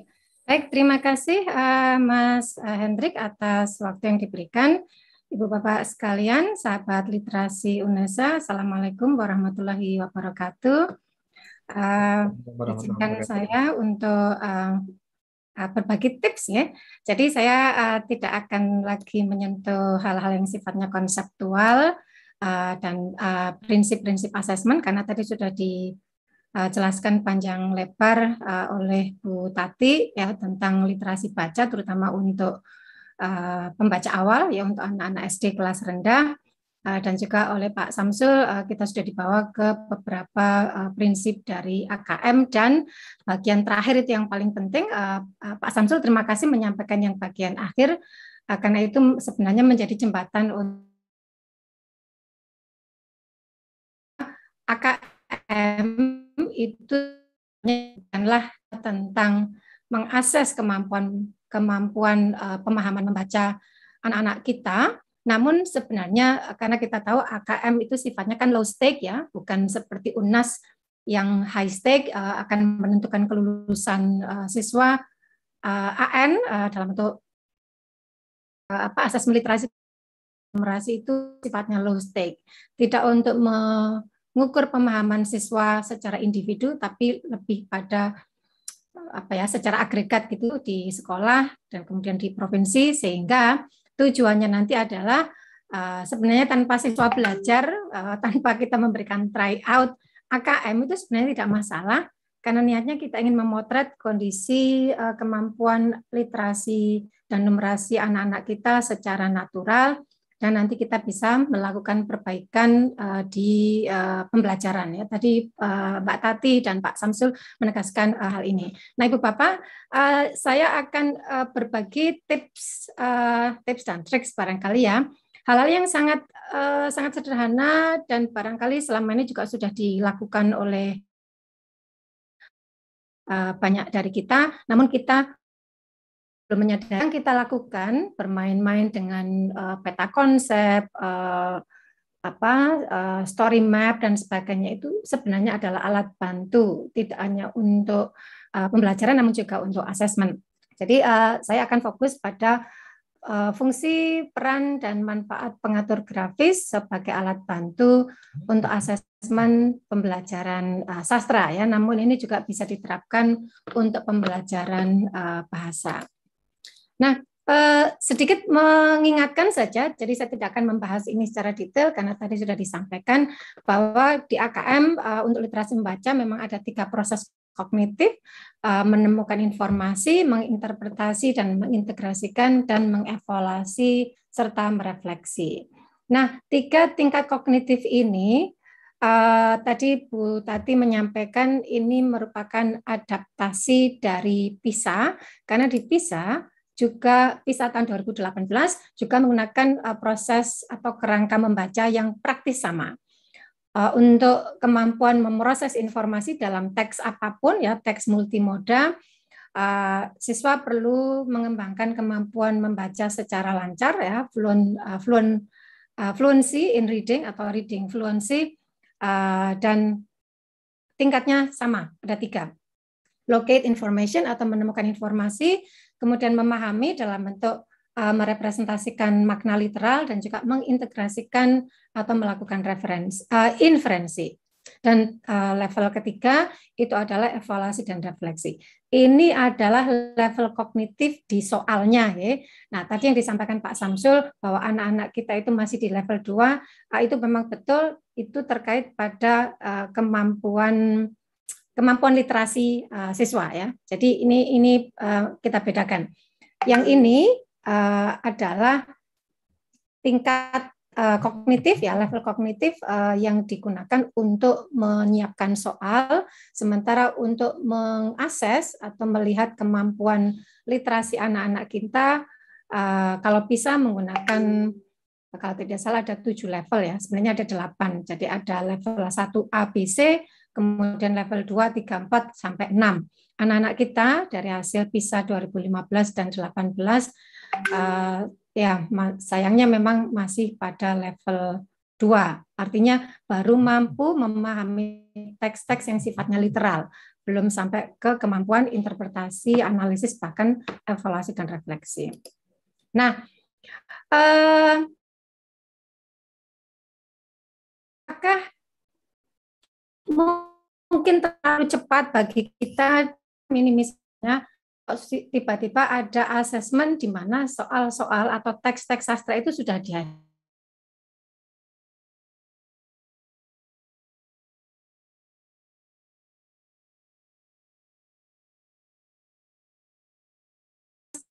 Itu belum menjadi bagian yang penting di dalam kurikulum kita ya. Ada di dan uh, belum menjadi bagian yang penting.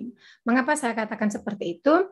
uh, sekedar untuk uh, melakukan benchmarking ya studi banding ke uh, asesmen-asesmen yang sifatnya uh, nasional uh, di beberapa negara.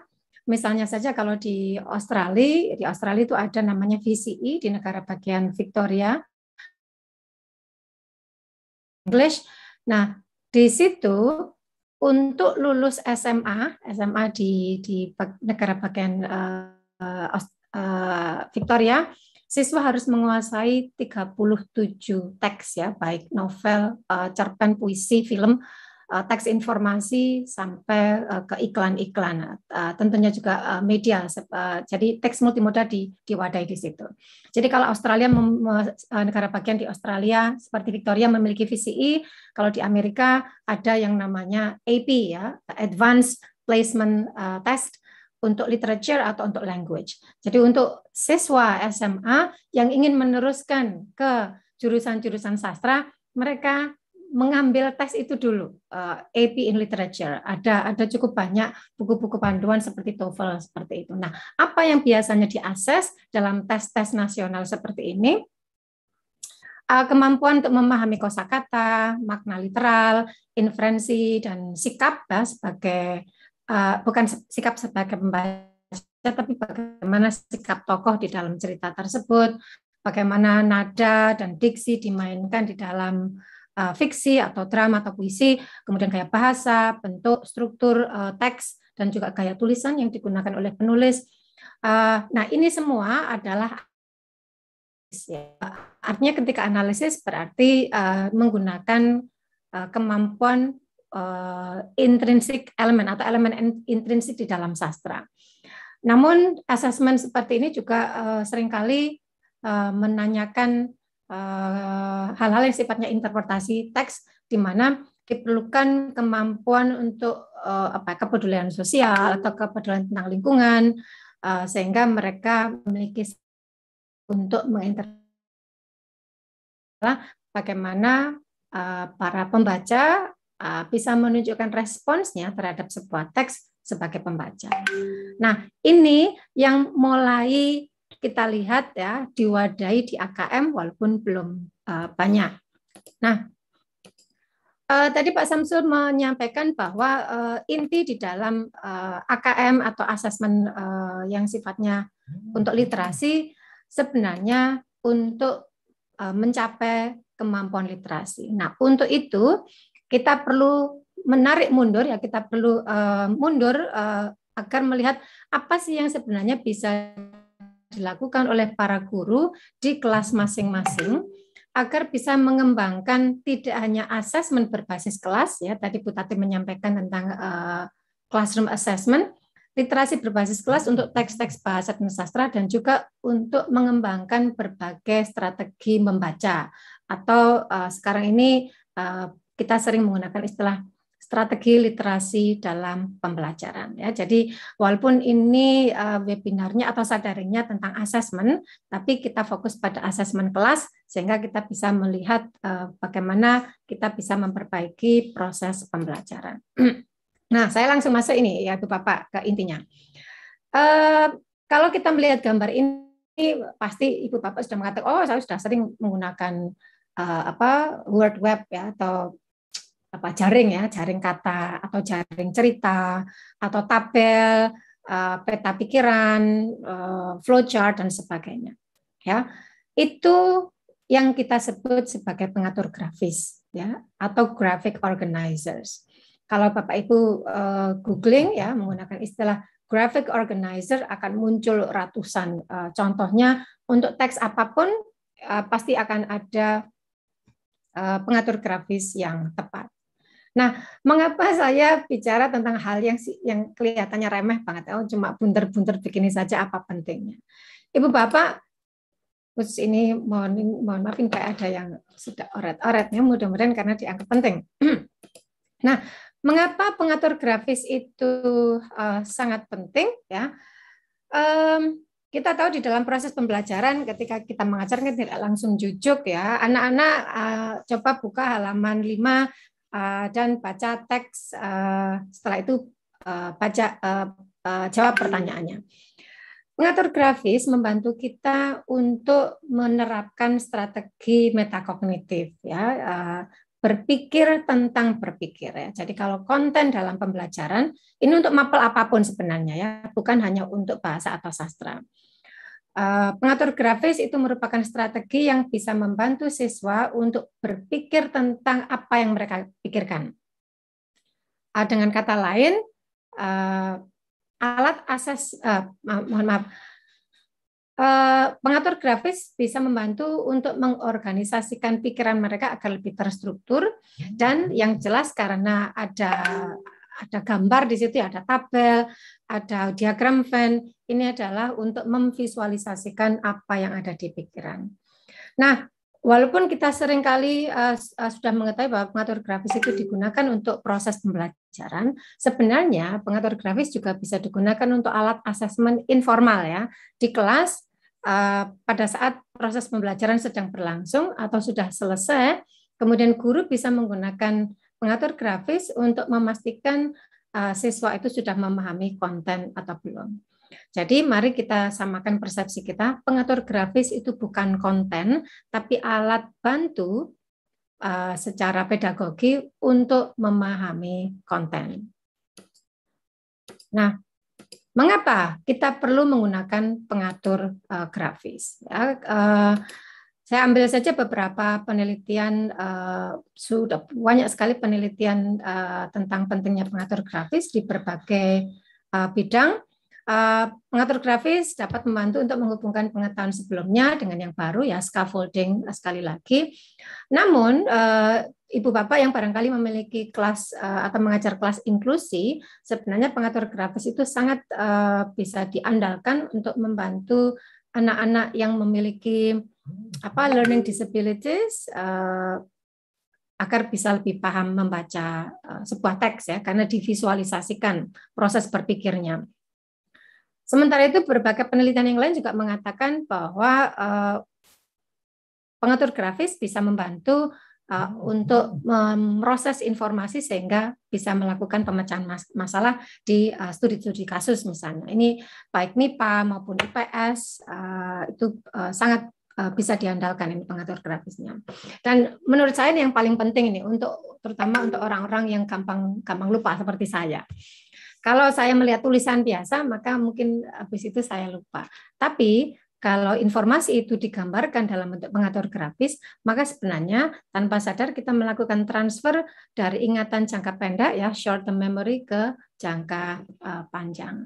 Ibu Bapak yang ingin melakukan uh, penelitian action research ya PTK silahkan memilih topik pengatur grafis referensinya sudah sangat banyak sekali. Nah, kuncinya sekarang pengatur grafis ya kalau eh, apa bunter-bunter atau tabel-tabel itu ada sebenarnya ada bukan hanya untuk diisi ya, bukan hanya sekedar diberi perintah. Anak-anak ada tabel untuk me, melakukan prediksi tolong diisi.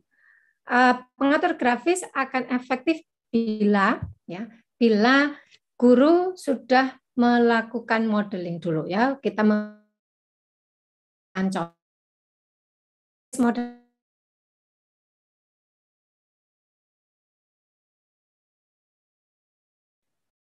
suaranya hilang. Oke, uh, ini saya lompati saja. Saya langsung menunjukkan beberapa contohnya. Mudah-mudahan uh, saya masih punya cukup waktu, Mas uh, Hendrik ya. Ya, masih ada lima menit, Bu. Waduh. Oke, mudah-mudahan dapat bonus lima menit lagi ya. Siap. saya akan saya akan agak cepat. Ibu Bapak, kita akan mencoba melihat beberapa contoh soal yang ada di website Pusmenjar uh, pusmenjar.kemdikbud.go.id uh, saya mengambil beberapa screenshot uh, dan jenis soalnya dan saya ingin menawarkan uh, pengatur grafis apa yang bisa digunakan baik untuk proses pembelajaran maupun untuk asesmen informal. Misalnya ini untuk level 1, menemukan informasi. Di sini menemukan informasi itu bisa dalam bentuk mencari informasi yang yang literal atau ya, mungkin bukan literal tapi yang eksplisit ya informasi yang tersurat dan juga mencari kata-kata kunci yang ada di dalam teks. Nah, ada dua eh, pengatur grafis yang bisa kita gunakan yaitu adik Simba dan kata kunci. Kita lihat dulu contoh soalnya. Ini salah satu contoh soal yang saya screenshot kalau tidak salah ini untuk kelas 5 dan 6 ya. Di mana ada soal ada ada bacaan, uh, saya tidak screenshot bacaannya, tapi uh, soalnya menggunakan pilihan ganda kompleks, artinya pilihannya lebih dari satu. Nah, pertanyaannya seperti ini: di mana sajakah latar tempat terjadinya peristiwa di dalam drama tersebut? Ya, berarti menanyakan tentang tempat ya, tentang latar. Nah, agar siswa terbiasa mengidentifikasi informasi-informasi yang eksplisit seperti ini, kami sangat menganjurkan ini saya mengenalnya itu sebenarnya dari Bukes ya, adik Simba. Kita kenalkan dengan uh, pengatur grafis yang disebut sebagai adik Simba. Apa, di mana, kapan, siapa, mengapa, dan bagaimana. Ini mohon maaf, ini perlu ditarik. Ya, adik Simba. Apa, di mana, kapan, siapa, mengapa, dan bagaimana. Kalau adik Simba ini sering digunakan di proses pembelajaran dan kemudian di asesmen informal, maka ketika mereka dipaparkan pada berbagai jenis teks ya maupun baik bahasa maupun sastra, maupun teks-teks di mapel yang lain, begitu ada pertanyaan, uh, saya kembali ke slide yang sebelumnya, ada pertanyaan tentang di mana dan juga mengapa, maka siswa itu sudah langsung terpikir, oh adik Simba. Ya, mereka bisa langsung menggunakan uh, form seperti ini ya, pengatur grafis uh, seperti ini. Karena waktunya terbatas ya tidak saya modelkan. Nanti kita bisa belajar lebih lanjut. Nah, bagaimana dengan kata-kata uh, kunci ya? Ini ada soal uh, sama-sama pilihan ganda kompleks. Ini saya screenshot dari soal untuk tingkat uh, kelas 9 sampai 10 ya. Kalau enggak 9 10 atau bahkan mungkin uh, 11 12. Jadi untuk SMA. Ada sebuah puisi Kemudian pertanyaannya seperti ini, kalimat atau baris-baris dalam puisi dapat meninggalkan pengalaman indrawi bagi pembacanya. Pengalaman indrawi ini disebut dengan imaji ya. Tentukan imaji yang ditimbulkan melalui baris-baris puisi berikut ini ya. Jadi menggunakan panca indera, penglihatan, perasaan dan pendengaran. Sayangnya kayaknya saya melewati satu slide ya Mas Pan, Mas pada tapi tidak apa, saya, saya langsung aja. Ini ternyata bukan kata kunci, tapi tentang panca indera. Nah, apakah ada uh, pengatur grafis yang tersedia? Ya, ada saja. Ini, ya, ini bisa dipraktekkan di kelas, ya, dan akan sangat menyenangkan ketika ada sebuah teks. Kemudian siswa diminta untuk mengidentifikasi kalimat ini uh, membawa kalian pada indera perasa atau penglihatan, pendengaran, sentuhan atau pembau ya kemudian dikutip ya ditulis kalimatnya yang ada di dalam teks kalau mereka terbiasa eh, dipaparkan dengan teks kemudian informasinya di dikategorikan divisualisasikan seperti itu maka ketika di dalam AKM atau di dalam asesmen apa pun mendapatkan soal seperti ini long term memorinya akan langsung ter, terbawa kembali. Oh ya, ini berarti tabel 5 indera. Seperti itu. Adakah yang terlewat tadi? Oh, ada semua. Tidak apa-apa, saya lewati saja. Oke, okay, um, nah ini yang yang kata kunci tadi ya. Uh, ternyata tidak terlewat. Ada soal yang lain dari puisi juga. Uh, kalau tidak salah ini puisi dari Rendra waktu itu kalau tidak salah. Uh, dalam puisi tersebut terdapat banyak kata amplop yang digunakan secara berulang. Makna dari kata amplop yang dimaksudkan oleh penulis adalah uh, puisinya kebetulan tentang korupsi ya. Uh, maka pilihan ganda ini mana yang betul ya. Tapi untuk itu kalau tidak terbiasa dilatih mengenali makna denotatif dan konotatif ya, makna literal dan makna kiasan, maka informasi seperti ini akan akan menjadi tantangan. Nah, ini kira-kira contohnya. Eh, pengatur grafis yang bisa kita gunakan untuk proses pembelajaran maupun uh, asesmen informal, di mana misalnya di sini dituliskan kata kuncinya tadi amplop ya, tuliskan di sini amplop. Makna denotatif amplop itu apa?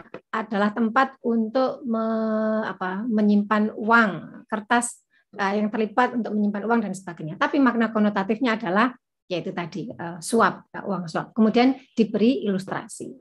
Seperti ini ya. Atau contoh yang lain adalah ini bisa digunakan di mapel uh, non bahasa juga sebenarnya. Kata kunci uh, yang sifatnya konsep siswa perlu dilatih untuk memberikan definisi kata kunci tersebut sinonimnya apa uh, lawan katanya apa dan membuat contoh kalimat ya. Nah hal-hal seperti ini akan sangat membantu mereka untuk memproses informasi secara lebih terstruktur. Saya cepat saja Mas Pandu karena masih ada dua level. Nah ini uh, soal untuk level kognitif yang kedua, di mana uh, siswa di, diharapkan untuk bisa memahami teks secara literal, tapi tidak adik simbal lagi ya, uh, di mana mereka menggunakan elemen-elemen intrinsik seperti latar, tokoh, plot atau apa plot itu alur ya dan dan sebagainya, dan juga melakukan Eh, keterkaitan antara satu teks dengan teks yang lain. Ini misalnya, uh, saat screenshot dari sebuah cerita, kalau tidak salah ini untuk uh, kelas 7 dan 8, kalau tidak salah. Nah, ada teks seperti ini, kemudian pertanyaannya seperti ini. Pesan apa yang terdapat dalam teks tersebut? Bisa dibayangkan kalau anak-anak kita selama ini tidak pernah dipaparkan pada soal atau bacaan yang cukup panjang. Kan bacaannya cukup panjang di sini. Saya potong saja.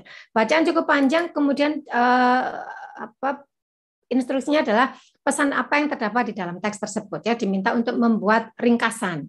Nah kalau kita biasakan di dalam proses pembelajaran dan juga asesmen di kelas maka eh, pengatur grafis seperti ini meringkas cerita akan sangat membantu mereka untuk meng, apa, mengkonstruk atau menyusun uh, apa yang ada di dalam pikiran mereka. Jadi tidak awang-awang, tidak diawang-awang begitu. Apa ya yang mau saya tulis? Tapi sudah ada rumahnya. Misalnya seperti ini dengan uh, apa? Dengan kata pancingan, seseorang ingin namun lalu kemudian. Jadi misalnya seperti ini. Ada seorang tokoh bernama Bowo.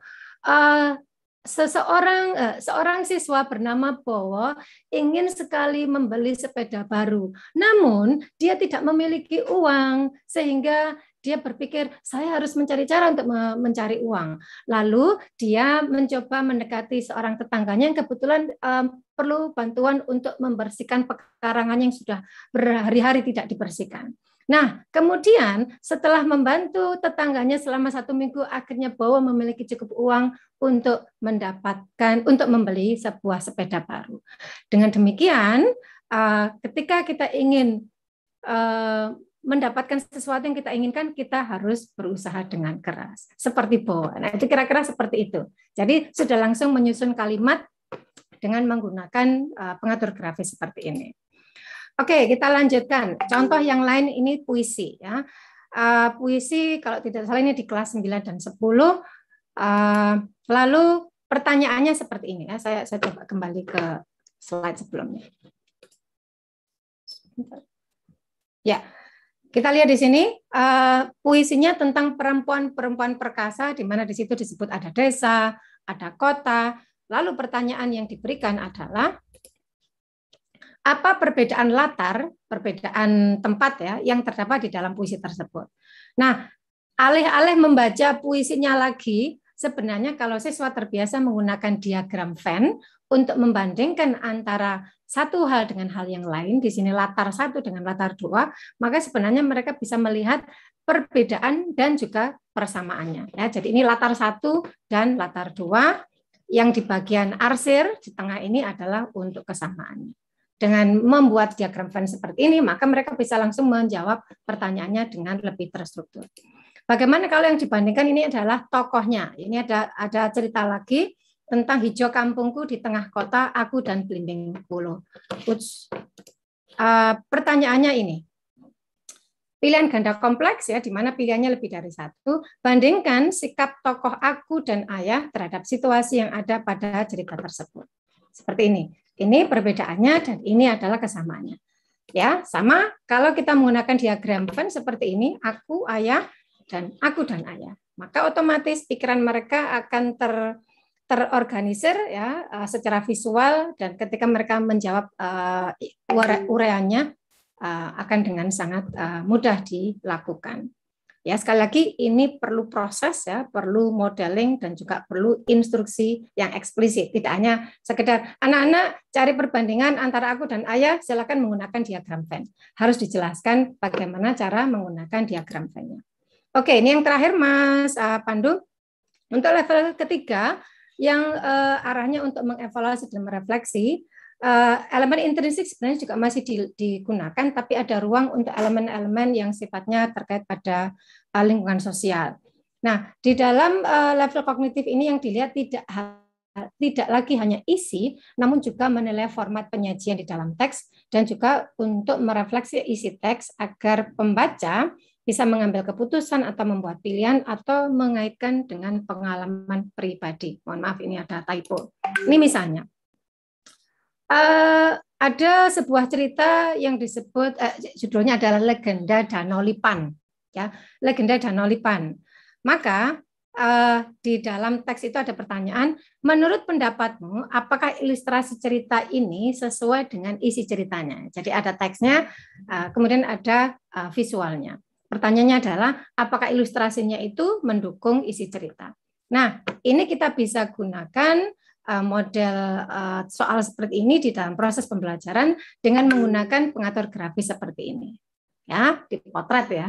Judul uh, cerita, pengarangnya siapa kalau ada dan genrenya apa. Di sebelah kiri, siswa bisa merangkum apa yang mereka baca dan di sebelah kanan apa yang mereka lihat. Mereka bisa melihat Eh, membandingkan apakah yang dibaca dengan yang dilihat itu nyambung atau tidak. Jadi sekaligus ini sebenarnya tidak hanya menganalisis tapi langsung menginterpretasi apakah format di dalam eh, teks tersebut itu sesuai atau tidak. Eh, contoh soal yang lain dari konteks cerita tersebut, ini ini cerita yang lain ya, kebetulan tapi tidak saya uh, taruh di sana. Kejadian apa yang paling minimal harus ditambahkan penulis untuk melengkapi cerita itu. Jadi di dalam uh, soal tersebut ada sebuah cerita yang sebenarnya belum lengkap plotnya. Uh, lalu uh, siswa diminta untuk identifikasi apakah ada plot uh, maaf, ada elemen alur yang masih belum tersampaikan di sana. Nah, kalau siswa sudah terbiasa dikenalkan dengan alur plot, uh, maaf, kok saya keliru bicara alur plot, alur uh, elemen di dalam alur seperti ini, uh, eksposisi, kemudian peningkatan masalah, kemudian ada klimaksnya, kemudian masalahnya sudah mulai diselesaikan, dan akhirnya ending. Kalau kita terbiasa menggunakan pengatur grafis seperti ini, maka ketika ada sebuah pertanyaan uh, seperti ini, maka mereka bisa langsung dengan mudah menggambar alur uh, cerita dan mengidentifikasi mana di bagian bagian cerita yang mana yang masih belum tersampaikan.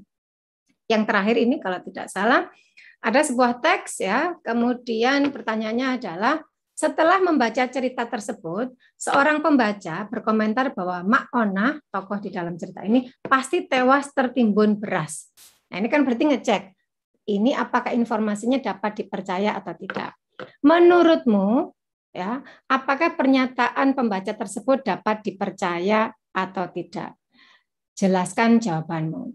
Pertanyaan seperti ini menuntut siswa untuk bisa mencari bukti apakah informasi ini valid atau tidak. Nah, bagaimana bisa mencari bukti di dalam sebuah teks? Kita bisa menggunakan pengatur grafis seperti ini.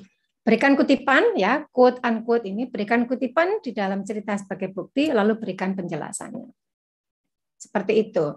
Jadi eh, penjelasan seperti yang tadi, Maonah juga tewas karena tertimbun beras, itu ada buktinya tidak di dalam eh, cerita. Kalau tidak ada, berarti uh, informasinya tidak dapat dipercaya. Jadi prinsipnya pengatur grafis itu sangat sangat uh, sangat sangat uh, bermanfaat untuk digunakan memproses pemahaman siswa. Nah, hal yang terakhir yang ini saya sampaikan kepada ibu bapak adalah AKM itu hanyalah satu cara agar kita bisa memperbaiki proses pembelajaran kita. Namun, agar anak-anak kita itu bisa semakin mencintai membaca, semakin menyukai sastra, asesmen saja tidak cukup, mengajarkan sastra saja tidak cukup, mereka harus dipaparkan terhadap buku-buku sastra dan non-sastra sebanyak-banyaknya. Untuk itu, sekolah perlu mulai mengembangkan program membaca di sekolah sebagai kegiatan yang menyenangkan atau membaca ekstensif. Ya, selain itu eh, guru-guru eh, seperti yang disampaikan oleh eh, Bu Tati dan Pak Samsul tadi, kita perlu mulai mengembangkan asesmen literasi yang sifatnya lebih lebih menantang seperti tadi ya, agar mereka siswa bisa mengembangkan kemampuan berpikir kritis dan juga kreatif. guru perlu berlatih bersama menggunakan berbagai strategi literasi dalam pembelajaran. Ini berarti membaca intensif. Salah satunya adalah dengan menggunakan berbagai pengatur grafis. Ya, satu persatu yang penting kita bisa eh, apa akrab dengan pengatur grafis tersebut sebelum beralih ke pengatur grafis yang lain. Jangan lupa juga bahwa kita perlu memaparkan, eh, memajankan kepada siswa berbagai jenis teks ya dengan berbagai konteks untuk bahan pembelajaran tidak hanya di bahasa namun juga di semua mapel. Yang terakhir, pembelajaran maaf, pengajaran yang baik itu bukanlah tentang konten, tapi lebih pada proses. Karena semua guru pada dasarnya adalah guru membaca. Dan apa pun yang kita hadapi, tantangan apa pun yang kita uh, temukan, mari kita tetap tenang dan terus membaca. Terima kasih Mas Pandu, saya tutup presentasi saya. Wassalamualaikum warahmatullahi wabarakatuh. Waalaikumsalam warahmatullahi wabarakatuh. Terima kasih Bu Pratiwi atas paparan materi yang sangat luar biasa eh, dan eh, sahabat literasi UNESA tidak terasa ketika memateri telah memaparkan dengan baik materinya masing-masing. Untuk itu pada sesi ketiga ini kita akan membuka sesi diskusi. Kita akan nyalakan dulu untuk ya. Kita akan undang para pemateri kita di ruang virtual ini ada Pak Samsul Sodik juga dan ada Bu Tati. Ya, kita berempat sudah ada di ruang virtual ini. Uh, kita akan mencoba untuk melihat pertanyaan yang masuk ini sangat luar biasa. Pandu izin izin sebentar saja saya perlu buka pintu ada ada yang ketuk-ketuk sebentar saja. Yes, siap. Bu Pratiwi, monggo. Ada banyak sekali pertanyaan yang masuk di kolom chat di Zoom uh, dan juga di YouTube ya. Uh, tapi pada sesi pertama ini apabila ada peserta nanti yang ingin menyampaikan pertanyaannya lewat uh, live ya atau langsung menyampaikan nanti bisa raise hand kita akan beri kesempatan satu atau dua penanya yang barangkali ingin menyampaikan pertanyaan secara langsung kepada narasumber atau mungkin uh, ingin berbagi informasi dan pengalaman terkait dengan tema-tema yang kita bicarakan pada hari ini. Baik, uh, untuk yang pertama kita akan coba bacakan pertanyaan dulu dari kolom uh, chat Zoom ya. Baik. Ini ada pertanyaan dari uh, Bapak Eka Sugeng. Eka Sugeng Aryadi dari MTSN 6 Pasuruan. Saya tertarik penjelasan dari Bu Tati. Mohon berkenan membagikan seperti apa format di bus dan bagaimana mempraktikannya di kelas tentang uh, di kelas jenjang MTS atau SMP dan satu lembar diagnosa dalam running record seperti apa Ibu? Terima kasih. Ini pertanyaan dari Bapak Eka Sugeng Aryadi dari MTS N6 Pasuruan itu. Tati, mungkin bisa kita respon dulu. Baik. Uh, pertanyaan tadi dari siapa Mas Hendrik? Dari Bapak Eka Sugeng Aryadi, MTS 6 Pasuruan. Oke, Pak Eka Sugeng dari Pasuruan. Salam hormat Pak, terima kasih atas pertanyaannya. Uh, dua hal yang Bapak ingin ketahui ya Pak ya. Bapak pengajar di SMP ya? Kalau nggak salah dengar tadi. Betul ya Pak Mas Hendrik ya? Ya, MTS N6. MTS berarti itu SMP ya, Sanawi ya. Uh, jadi yang Bapak tanyakan uh, bagaimana bentuk dibels, uh, apakah bisa dipakai atau ditunjukkan. Uh, dibels ini Pak, Pak uh, dipakai sistem untuk assessment yang dalam mahasiswa apa uh, uh, pelajar di Amerika ya, jadi bahasa Inggris. Jadi memang penelitiannya atau alatnya itu memang dibentuk untuk uh, yang berliterasi dalam bahasa Inggris. Uh, dan untuk memakainya uh, ini enggak gratis. ini sudah dipatenkan gitu ya. Uh, sebagaimana kalau PISA itu pasti ada pembayarannya tuh pemerintah kita mengadopsi bisa gitu. Jadi uh, pertama itu bahasa Inggris, kedua uh, saya juga nggak punya akses ke situ. Tapi di Bills itu sangat dipakai memang untuk tingkat dasar Pak. Jadi langsung mereka menyaring. Jadi uh, kalau di ayak itu yang ketinggalan itu adalah yang masih perlu dikasih treatment atau intervention. Itu sangat sangat uh, sangat efektif ya uh, dan sudah dipuji. Peebles namanya. Nah, belum ada di Indonesia, uh, mungkin UNESA mungkin akan mengembangkan uh, untuk bahasa Indonesia dengan Pak Sodik gitu ya tadi yang disampaikan menarik sekali. Terus uh, yang soal running record itu tadi ada video yang belum sempat saya sampaikan Pak. Uh, mungkin saya khawatir soal waktu saja nih. Kalau saya boleh tampilin boleh atau tidak nih? Uh, uh, waktunya saya nggak tahu nih apakah memungkinkan. Jadi running record itu prinsipnya Bapak ya, Pak apa namanya uh, Pak Eka uh, itu uh, yang paling bagus itu jadi gini, Bapak punya buku Terus bukunya itu kalimat-kalimatnya semua harus di, uh, di di fotokopi. Artinya di dalam lembaran itu semua diketik ulang atau di copy paste lah bisa ya. Nah, nanti Bapak Ibu dengan satu lembaran yang sudah di print, terus si anak membaca teks yang Bapak Ibu tadi isinya sudah ditransfer ke dalam lembaran, Bapak atau Ibu sebagai yang melakukan asesmen itu megang lembarannya lembaran yang tadi ada isi teks. Sementara anak-anak itu, anak-anak yang akan diakses itu membaca teks yang buku dari buku.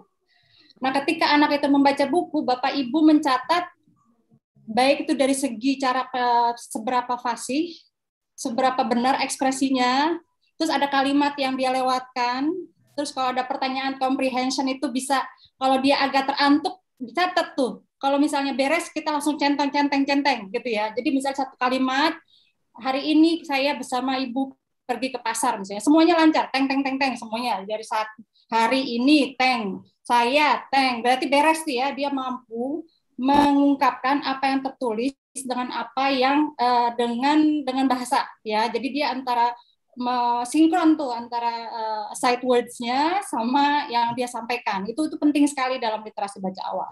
Nah kalau dalam pemahaman berikutnya terus sampai hal, kalimat yang berikutnya. Nanti kalau ada yang terantuk misalnya ketika setelah saya sampai pasar saya membantu menjinjing misalnya. Eh, eh, dia berhenti di situ. Nah, kita tandain bagian menjinjing. Berarti ada masalah di situ. Me ada jinjingnya bermasalah. Uh, jadi ada dua tuh ya. Apa istilahnya kalau bahasa Indonesia-nya? Morfologi ya Pak Sodik ya? Ya morfologi. Morfologinya masih bermasalah, jinjing berarti kata-kata itu masih bermasalah untuk anak itu. Artinya treatment kita apa? Mengajarkan tentang morfologi dan kata-kata yang bersifat kata-kata jinjing. Dikumpulin tuh nanti jinjing itu apa saja persamaan katanya, di mana saja konteks pemakaiannya. Terus buku-buku apa saja yang bisa membantu dengan kata-kata istilah jinjing itu. Jadi tadi yang Pak Sodik sampaikan multitext itu penting sekali. Semakin kaya anak itu eh, memaknai kosakata bukan sekedar definisi, tapi konteks pemakaian dalam teks, dalam buku bahasa tertulis itu. Uh, jadi running record itu membantu sekali Bapak Ibu kita ngikutin. Jadi kan kayak dokter sebenarnya kita mendiagnosa, ngikutin di mana kesalahan mereka. Kalau ada masalah dengan cara mereka menyampaikan kita langsung contengin dan nanti setelah mereka selesai kita kembali lagi dengan catatan kita. Oh, udah udah. Oh, alah, gak diputer deh. Kasih Mas. Uh, mohon maaf Bu Tati bisa di unmute lagi untuk Oke. Okay. Iya.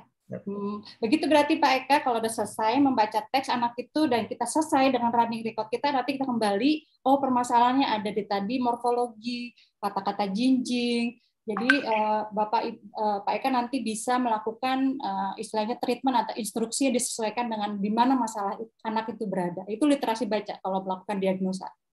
Pak Tati, anu, yes. izin, izin menambahkan sedikit. Silakan. Kebetulan uh, di literasi pernah uh, mendapatkan hibah uh, dari inovasi untuk melakukan asesmen awal untuk anak-anak uh, kelas rendah.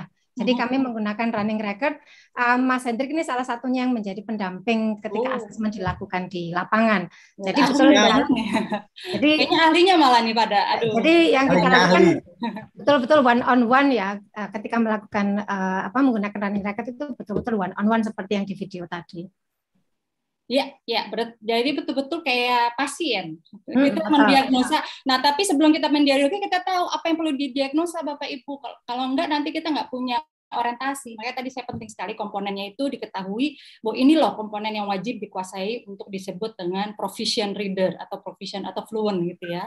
Uh, itu sih Pak Eka, mudah-mudahan berguna Uh, maaf saya tidak bisa ngasih visualisasinya, uh, tapi lihat di akses yeah. video YouTube-nya yang saya berikan. Tadi saya mau mencari filenya kok belum ketemu. Ada Bu. Nanti dibagi Bu. Nanti, nanti, ya. nanti bisa dibagi kalau ingin contoh running record yang kita buat. Siap. Uh, baik, uh, sahabat Literasi Unesa, ini ada pertanyaan lagi dari Pak Muhammad Khasmu Kholis. Ini masih di ruang Zoom ya, pertanyaan dari ruang Zoom dulu karena banyak yang dari ruang Zoom. Nah, setelah dua ini nanti kita akan beralih ke YouTube. Dari Pak Muhammad Khasmu Kholis, SMK Ar-Rahma Mandiri Indonesia. Pertanyaan saya adalah apakah asesmen ini bisa mengetahui bakat dan minat siswa dan kemudian diarahkan ke jurusan yang mereka minati atau mereka atau mereka bakat di situ sehingga di masa depan bisa bekerja sesuai minat dan bakat. Terima kasih. Ini ada hubungannya dengan jurusan ini. Mungkin Bu Prati hmm. Pak Samsul itu mungkin bisa mengatakan yang tentang AKM mungkin bukan AKM-nya tapi uh, apa lingkungan belajar dan karakter itu mungkin Pak G. Oke, siap. Monggo Pak Samsul. Pak Samsul masih mute. Masih mute Pak Samsul. Sebagian jawabannya dari Bu Tiwi saya kira. Hari ya. melengkapi Pak Samsul, hari melengkapi nanti kita. Ya, eh, terima kasih dari Pak siapa tadi? Mas? Muhammad Khasmu Kholis. Pak Khasmu Kholis, terima kasih Pak Mukholis. Eh, saya berkomentar saja eh, tentang pertanyaan ini. Yang pertama, apa sih yang disebut dengan bakat? Kita sering eh, kita selama ini lebih banyak memahami bahwa bakat itu uh, sudah turun gitu eh, apa eh, sudah pasti. Padahal mungkin mungkin beberapa hal dari komponen bakat itu bisa dilatihkan, bisa dilatihkan. Bagaimana tidak kita mengatakan bahwa anak saya punya bakat eh, sepak bola jika sejak lahir belum bisa apa-apa, ruas eh, ruang kamarnya itu dihias dengan sepatu bola, dengan kaos bola, cat eh, temboknya cat bola, mainannya bola, mainan apa bisa berjalan pertama pada 10 bulan itu yang ditendang adalah bola, tontonannya adalah bola. Akhirnya kita mengatakan, oh anak saya ternyata punya bakat di bola. Itu karena pembiasaan dari orang tua.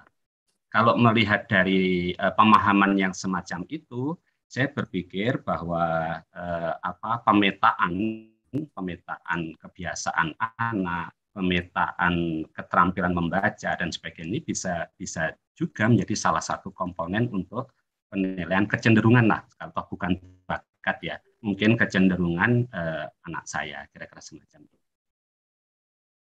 Eh, itu pendek pendek semacam jadi artinya bisa lah saya kira eh, apa kerja kerja yang positif yang bermanfaat semacam itu saya kira bisa dipakai untuk ke arah sana. Oke, makasih saya kembalikan. Yes, Semoga bisa menjawab pertanyaan ya. uh, kita coba beralih ke ruang YouTube ya.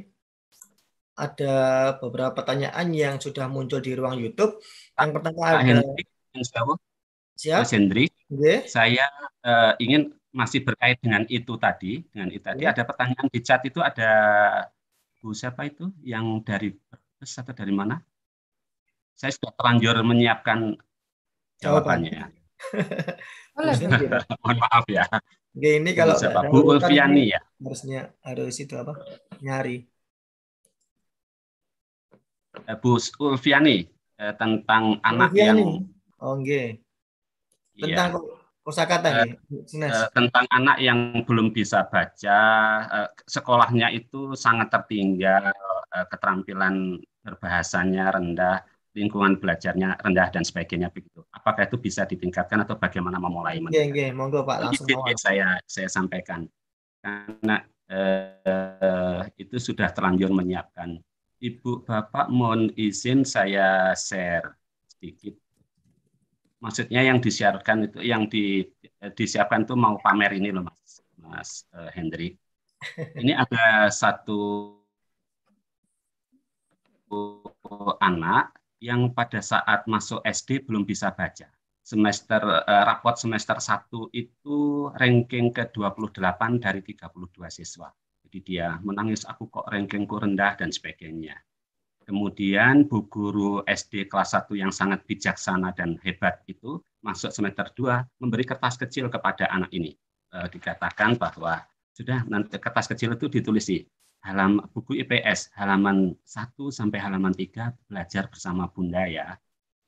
Akhirnya itu dipraktekkan diberikan pada bundanya dan bundanya men- mengajari anak ini eh, apa untuk apa sudah belajar ini isinya ini jawaban soalnya ini. Akhirnya dia bisa merasa bisa menjawab. Ketika bisa menjawab loh bu aku berarti kalau bisa baca bisa menjawab ya? Iya. Berarti untuk bisa menjawab semua pertanyaan aku harus bisa baca? Iya tapi aku mulai sekarang akan belajar membaca alhamdulillah anak itu rankingnya nggak bagus-bagus amat sampai sekarang sudah kelas 1 SMA, tetapi ini foto pada saat dia di SMP. Eh, eh, yang eh, yang di yang, yang ini memegang buku yang diterbitkan oleh grup Mizan. Apa itu judulnya itu ya. Jadi pada kelas 4 SD dia sudah bisa menulis buku yang dikirimkan ke grup Mizan dan di, diterbitkan oleh Mizan. Ketika menerima surat dari Mizan itu histerisnya luar biasa anak ini. Eh, Kemudian pada saat ada Terelie, beberapa waktu yang lalu eh, dia eh, panitia di UNESA, Mbak Fafi dan kawan-kawan apa menyampaikan bahwa bisa minta tanda tangan pada Terelie terhadap novel-novelnya. Dia bawa ada 23 judul buku di dua tas, dimintakan tanda tangan pada Terelie. Kemudian ditanya, lo kamu baca ini? Iya, kamu baca. Ini belum waktunya kamu baca. Kira. Nah, sudah terlanjur bagaimana? Gitu ya eh, itu eh, tentang anak yang waktu kelas 1 SD belum bisa baca kelas eh, semester 1. Kira-kira eh, semacam itu kemudian pada saat SMP dia diminta untuk memotivasi adik-adik kelas di SD Muhammadiyah 4 Bujang untuk memotivasi bagaimana dia menulis. Eh, Dan alhamdulillah hari ini di eh, SMA-nya sudah ada beberapa buku yang ditulis. Saya ingin memotivasi kita dan sedikit pamer, sudah terlanjur pamernya, semoga tidak termasuk dia. ya, harus eh, didukung dengan tobat ini.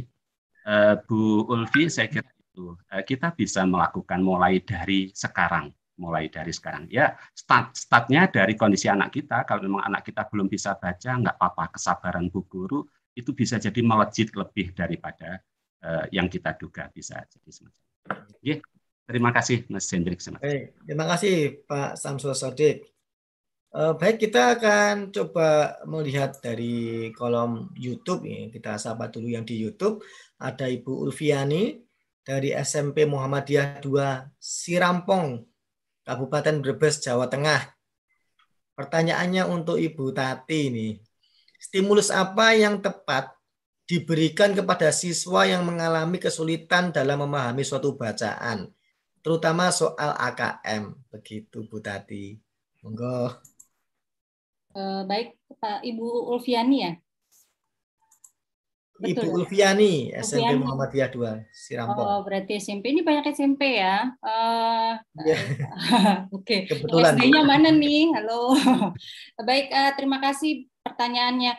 Mungkin kalau saya bisa bertanya langsung sama Ibu Ulfiani, apa yang sudah dilakukan untuk eh, oleh Ibu Ulfiani untuk eh, dari pemahaman tentang AKM dan kira-kira apa yang sudah dilakukan dalam instruksinya di dalam kelas yang kira-kira dari pemahaman tersebut. Saya pengen tahu dulu sebelum eh, saya kok tiba-tiba ngasih eh, saran gitu kan. Eh, saya mau dengar dulu apa yang dipraktekkan. Gitu kali ya. Nah, kalau secara umum, secara general, ini general ya, bukan bukan hanya untuk Bu Ulfiani karena itu sangat spesifik sekali. Tapi kalau yang umum AKM itu seperti ditegaskan berkali-kali oleh Ibu Pratiwi, Bu Pak Samsul Sodik, itu bukan eh, nggak high stake ya. Jadi memang bukan persiapan stimulus dan sebagainya itu soal bagaimana Bapak Ibu eh, apa sih eh, sekarang melihat membaca itu bagian dari bernalar, bagian dari membiasakan anak-anak untuk membaca bahasa tertulis. Dan dalam bahasa tertulis itu masing-masing ada tingkatan kesulitannya. Nah, dalam literasi baca itu yang mesti ditekankan bahwa pertama yang bisa dilakukan oleh guru adalah menyediakan buku dengan yang bervariasi mungkin sebanyak-banyaknya. Itu paling penting ya. Menyediakan akses itu paling penting. Kedua guru harus tahu juga ada apa yang bisa dilakukan dengan buku yang yang sevariatif itu gitu. Yang buku banyak itu apa yang bisa dilakukan? Buku informasi itu melakukan kegiatan apa?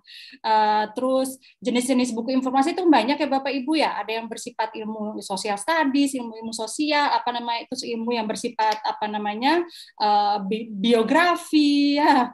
Terus ada yang uh, itu banyak genrenya. Dan masing-masing itu ada pendekatannya. Nah tadi Bu Pratwi bagus sekali memberikan cara-cara scaffolding atau cara cara untuk bagaimana membantu strategi mengajarkan yang setiap dibutuhkan atau uh, dituntut dari dari berbagai macam teks dan genre itu. Nah, itu secara umum yang bisa saya sarankan yaitu pertama kita mengembalikan kepada diri kita aja ya daripada menyalahkan siswa dulu. Pertama, sediakan akses. Kedua, akses banyak-banyak itu guru bisa melakukan apa dengan akses itu. Ya. Jadi mungkin mohon maaf Pak Ibu Ulfiani ini saya tidak bisa langsung ngasih preskripsi seperti dokter sampai saya tahu apa yang sedang Ibu praktekkan. Tapi itu secara umum. Terima kasih uh, Mas uh, Hendrik. Oke, nanti setelah ini buka praktek Bu Tati. Konsultasi Ide online. dengan Bu Pratwi dan Pak Sodik.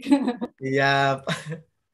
uh, baik Bapak Ibu, kita kembali ke kolom uh, Zoom lagi. Ada pertanyaan dari Pak Fendi dari UNES Unesa. Itu Unesa. Pak Fendri. Pak Fendri ya, kita. Double S ini. Hmm, ya. ya. Mengidentifikasi masalah dapat dilacak melalui kejadian terantuk. Ini perlu kita sadari bahwa terantuk adalah pertanda ada masalah. Pertanyaannya, masalah apa saja yang dapat dikaitkan dengan fenomena terantuk? Maaf, semoga saya tidak salah dengar terantuk. Begitu, Bu. Um, saya kayak tadi ya. Tadi Bu Tati ya yang Iya, saya istilah terantuk. Saya ya, tidak semua orang terantuk. paham kalimat terantuk, Ibu. iya, mungkin ya. Uh, itu terantuk kayak tadi kita udah bicara yang kedua kali yaitu ya. uh, misalnya misalnya membaca di running record ya, ada contoh. Terus anak membaca buku, terus kita ikutin dengan running record. Tiba-tiba anak-anak itu terantuknya di bagian apa? Tadi saya mencontohkan satu baris beres, satu baris berikutnya terantuk. Saya kemudian menjinjing apa namanya belanjaan ibu. Nah, tiba-tiba di kata-kata menjinjing, me, nah itu kelihatan terantuknya anak-anak. Dari situ kita mendiagnosa sebagai seorang ahli literasi baca di dalam kelas ya, karena kita yang punya kuasa di dalam kelas. Ya kita berarti kita tandai ini masalah terantuknya siswa ada di morfologi, terus kosakata yang namanya jinjing. Nah itu tadi nanti bapak ibu terjemahkan itu dalam instruksi dalam kelas mengenalkan kata-kata jinjing, persamaannya, kelompok kata, dan cari buku-buku yang menceritakan tentang yang kurang lebih ada ada pemaknaan jinjing dan morfologi. Jadi ada nanti grammarnya nanti tentang morfologi tentu saja. Itu sih uh, yang saya maksud dengan terantuk itu. Silakan. Tati. lainnya terantuk. Tati mau pakai ini tah, Bu Tati? Ini oh, kebetulan oh, ajaran ya. Bu ajaran ini, kita ini. Tiwi. Ah, saya ini kita punya oh, ini ya. Atau Mas Hendrik nih yang kemarin. Ya Mas Hendrik, terantuknya di mana nih kira-kira? Sebentar Bu, ini pertanyaan sulit nih. Tadi skenario gak kayak gini nih. Ya. oh. Ya, jadi ini kan kebetulan um, contoh running record yang dipakai oleh UNESA ketika melakukan asesmen awal dulu. Um, um, Pak Tati nanti saya cek kalau kalau clear ya. Jadi um, running record itu salah satu fungsinya digunakan untuk mengakses uh, reading accuracy atau ketepatan membaca. Di mana di situ kita punya jumlah kata. Nah, ditulis seperti ini. Uh, satu kalimat itu ada berapa kata dan selanjutnya jadi empat sembilan ini bukan berarti di sini ada sembilan kata tapi nyambung. Uh, di baris pertama empat kata, kemudian baris kedua ini totalnya sudah sembilan dan seterusnya dan seterusnya.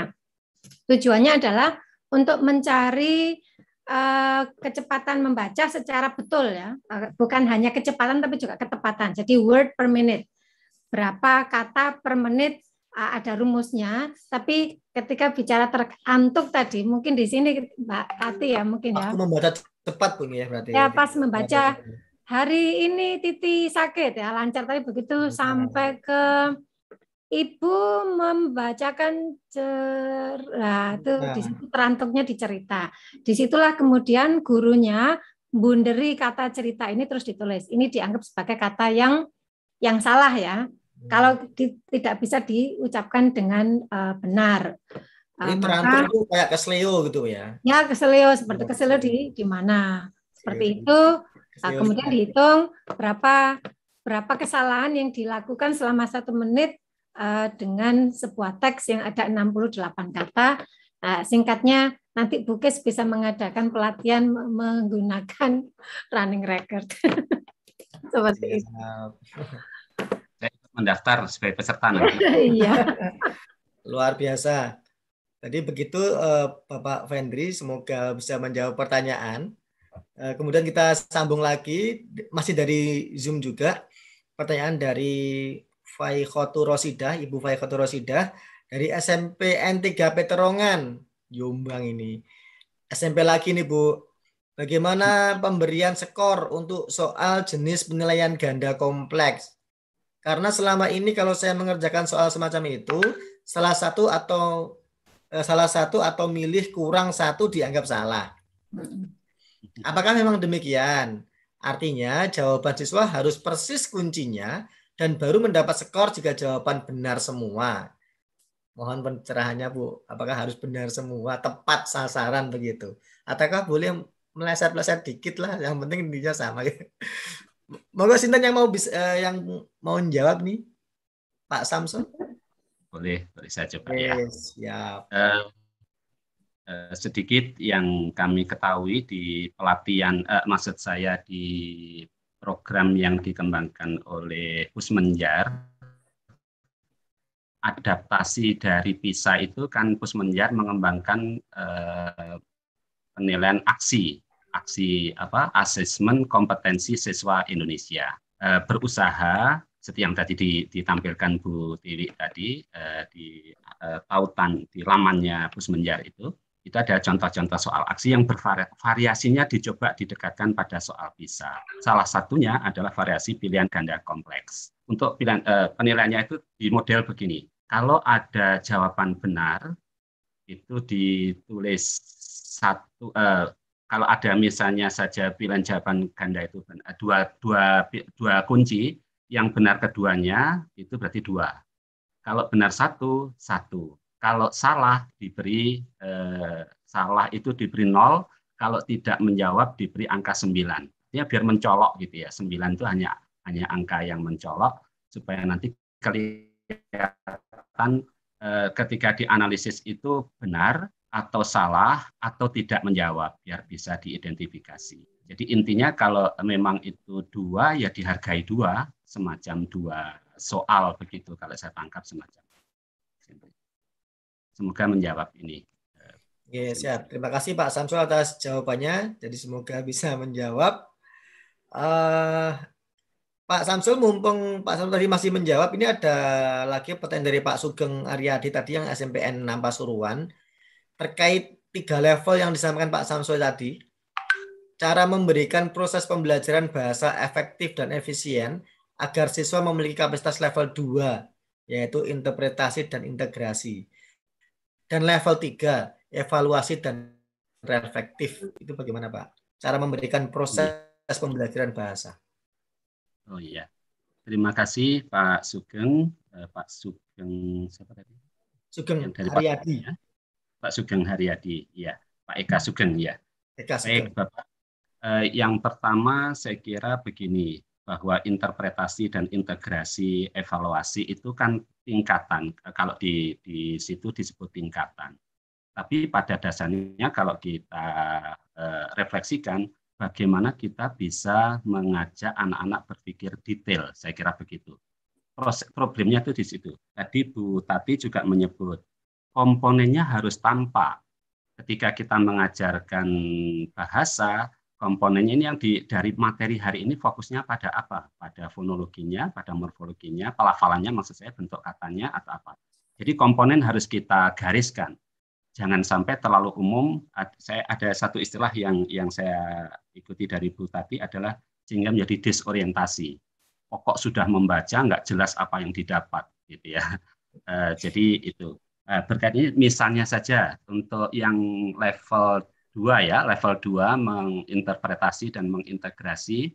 Kalau untuk bahasa Indonesia itu misalnya di MTS, MTS itu berarti ada KD 3 titik genap.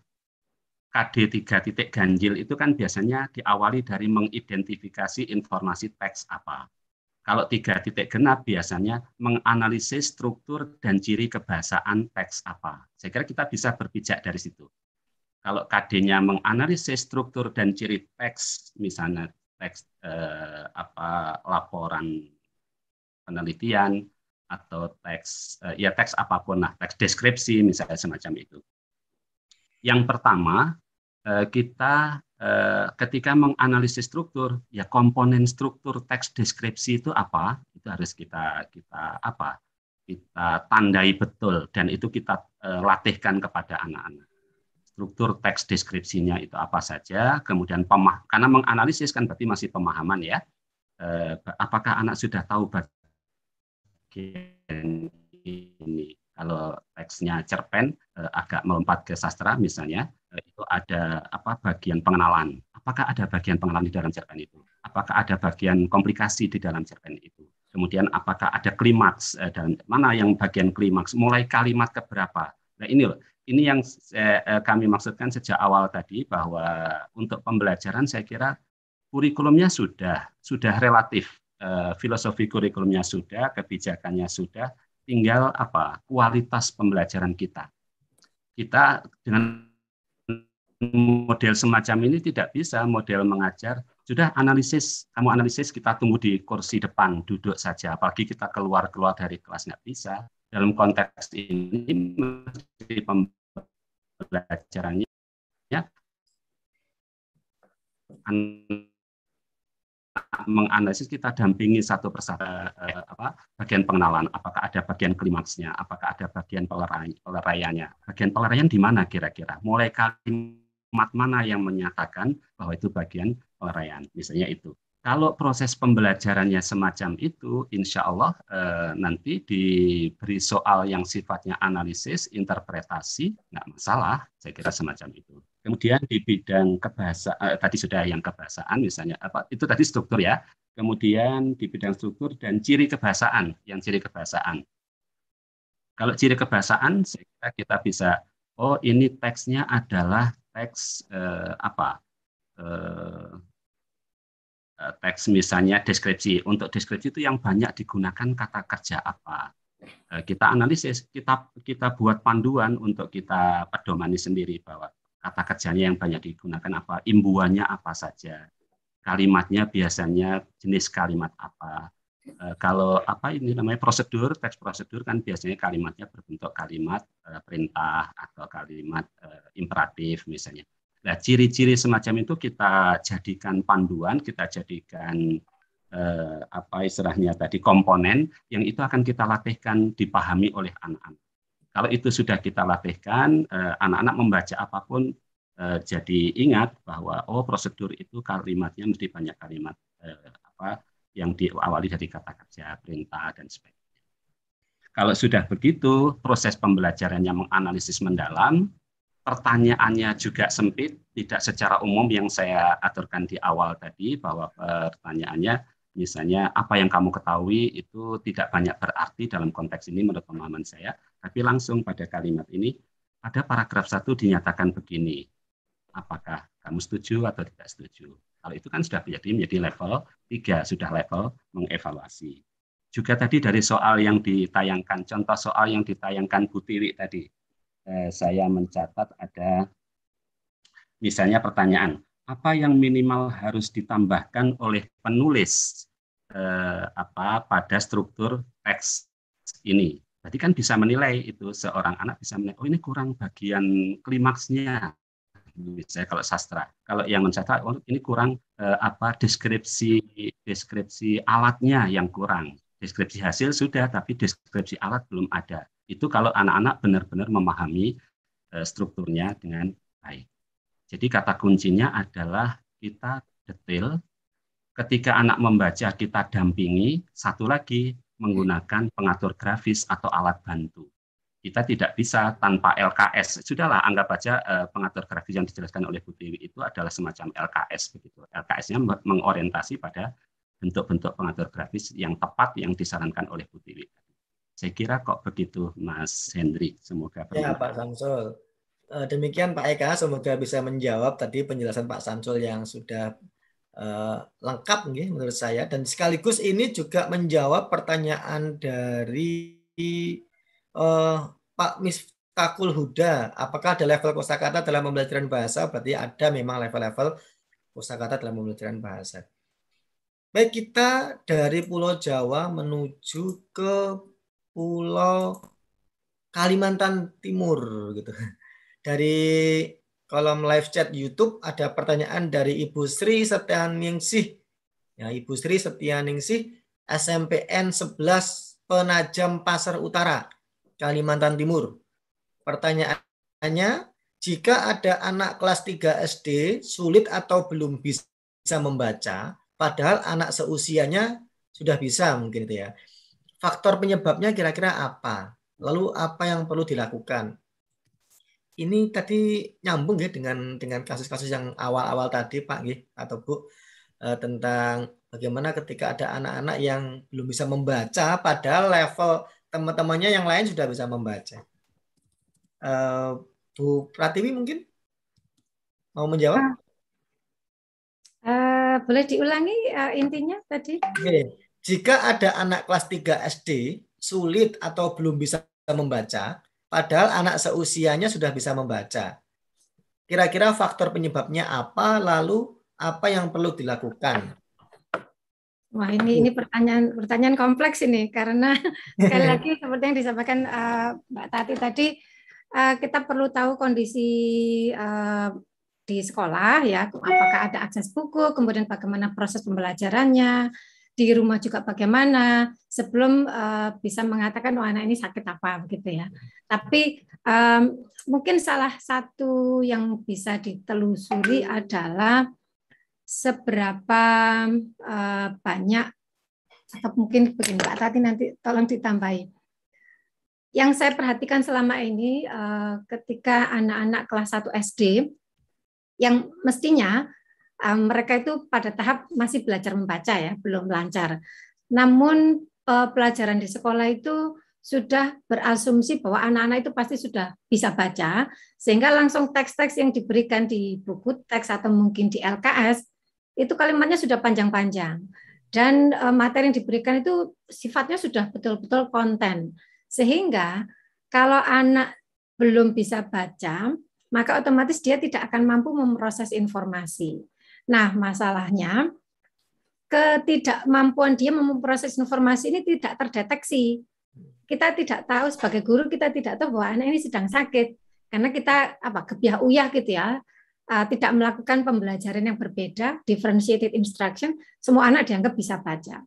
Sehingga uh, dan kemudian mungkin ada tuntutan nanti pokoknya harus naik semua. Naiklah sampai kelas 3 Jangankan kelas 3, kelas 6 saja di beberapa daerah kan ada yang masih belum bisa baca. Karena ini tidak terdiagnosis. Jadi kembali yang di, uh, ke yang disampaikan Mbak Tati tadi, kalau kita mau mundur aja, mundur ke belakang lah tidak apa-apa. Tapi dengan memastikan setiap anak di kelas 1 SD itu sudah bisa baca, dengan melakukan assessment one on one pakai running record itu mestinya akan langsung terdeteksi.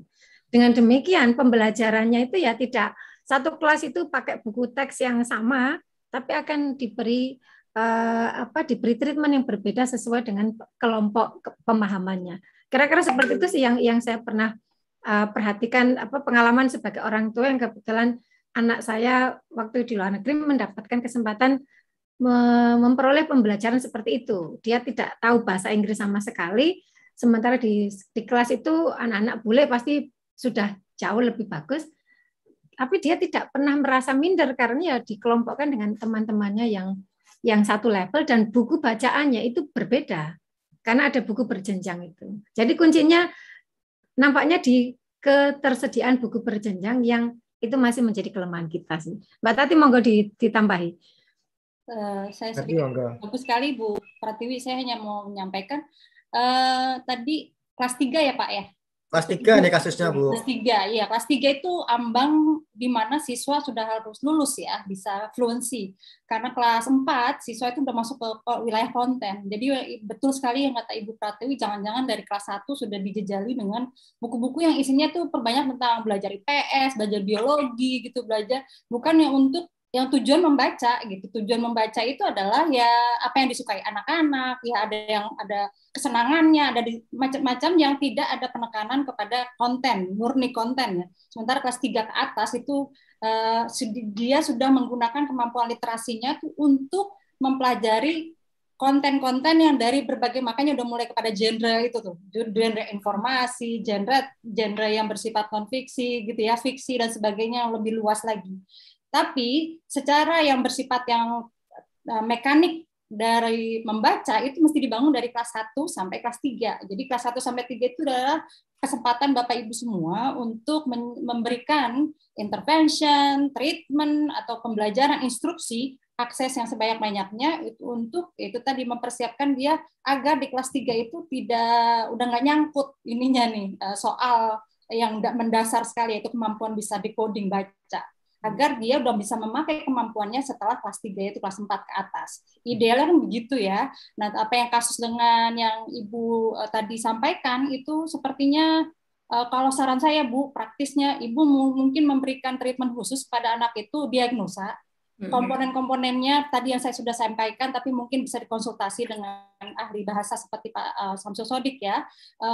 Kira-kira komponen apa saja dalam bahasa Indonesia yang mesti di sebagai penentu bahwa dia lancar baca. Nah, Bapak Ibu nanti dari apa namanya dari satu lembar bacaan coba dengarkan dia baca, dia terantuknya di mana dari komponen-komponen itu ya. Apakah nggak bisa baca sama sekali? Oh, berarti udah severe sekali ya tingkatnya. Kelas 3 nggak bisa mengenali teks sama sekali kan ada ada ada yang nggak bisa mengenali morfologi, ada yang nggak bisa mengenali verbs gitu atau kosakata uh, kata kerja gitu, ada yang nggak bisa kata benda dan sebagainya. Kalau dia nggak bisa sama sekali itu itu kategori yang betul-betul intervensi yang luar biasa. Jadi one on one-nya kalau perlu khusus menyediakan untuk anak itu ya, jangan sampai ketinggalan. Kalau nggak nanti uh, buta huruf betul anak itu.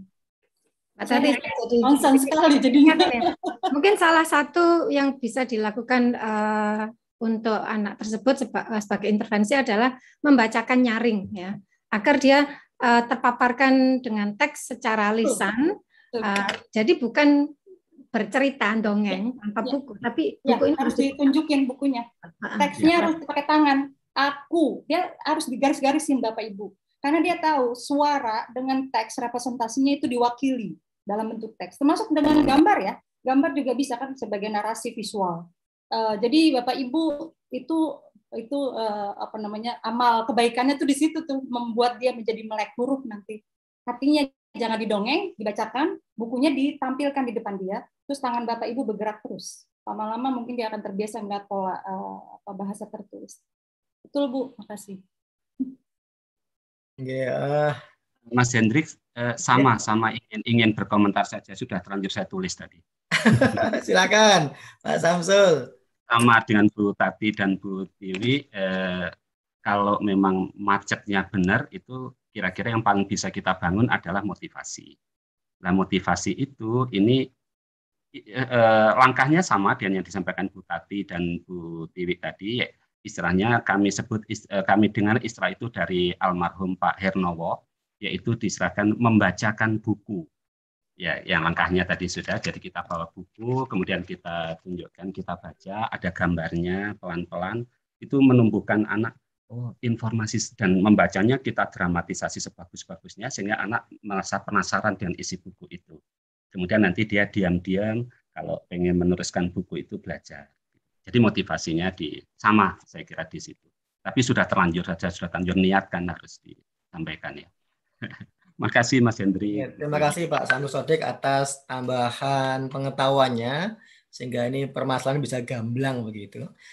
Uh, Bapak Ibu dan sahabat literasi semua, uh, ternyata waktu juga yang pada akhirnya harus memaksa kita untuk siap-siap untuk mengakhiri acara. Sebenarnya masih banyak sekali pertanyaan-pertanyaan yang muncul. Mas Hendrik, halo.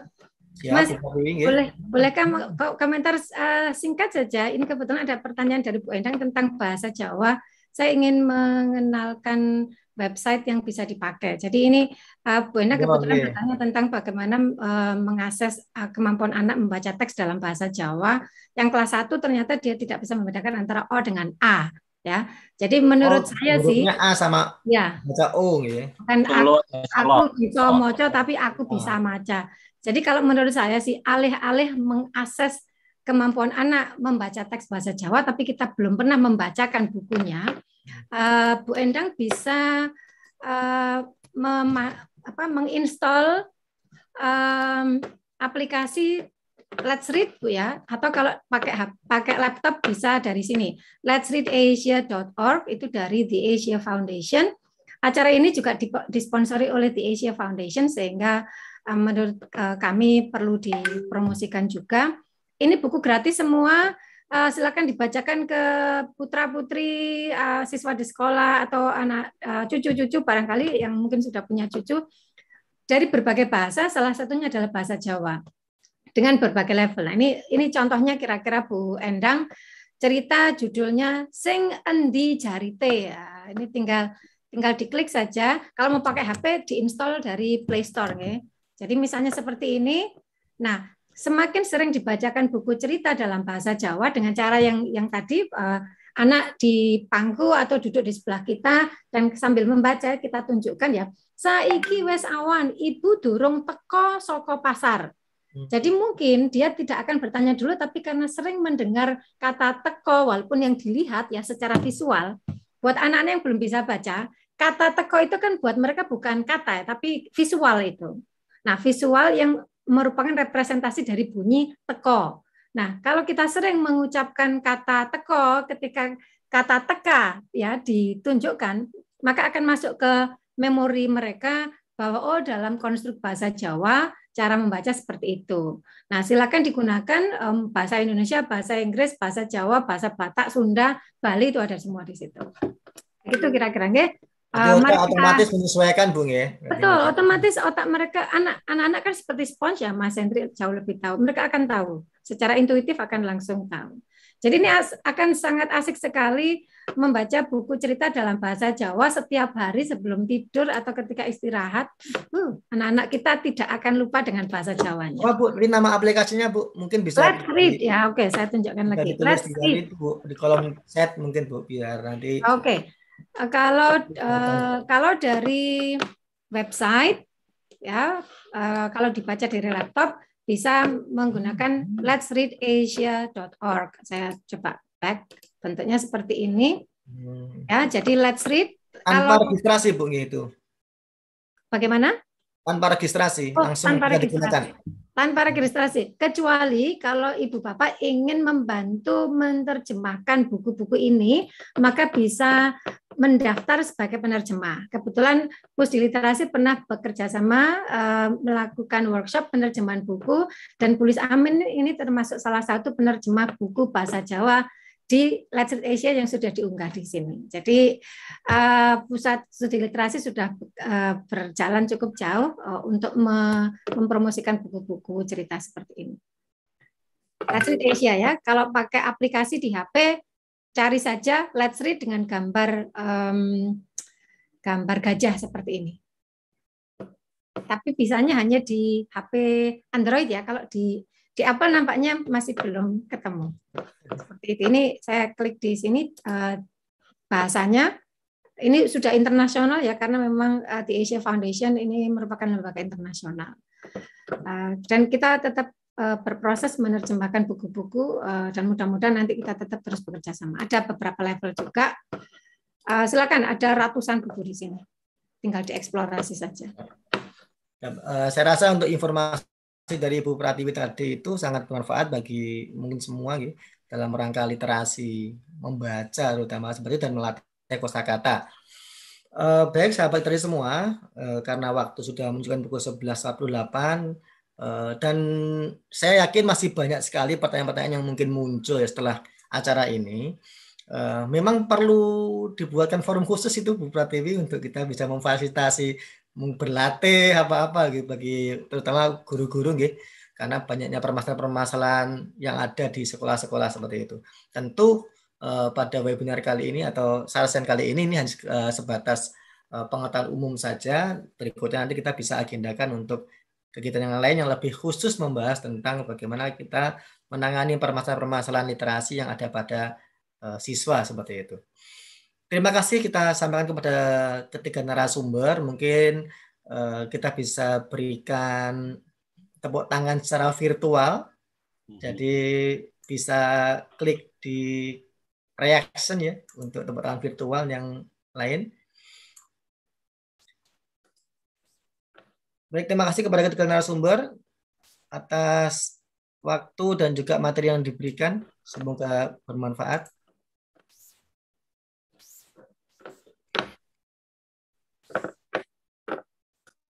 Baik, sahabat literasi Unesa, acara yang terakhir kita di sesi keempat ini adalah acara penutupan, yang mana acara penutupan pada siang hari ini akan disampaikan oleh Kepala Pusat Studi Literasi LPPM Unesa kepada Profesor Dr. Kisyani Laksono M. Hum, eh, berkenan untuk memberikan sambutan dan sekaligus menutup acara.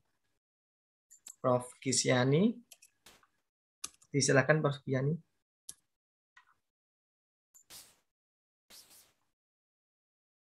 Masih di mute, Prof? Untuk mikrofon. Mikrofonnya, mikrofonnya Prof belum masih mute. Masih mute.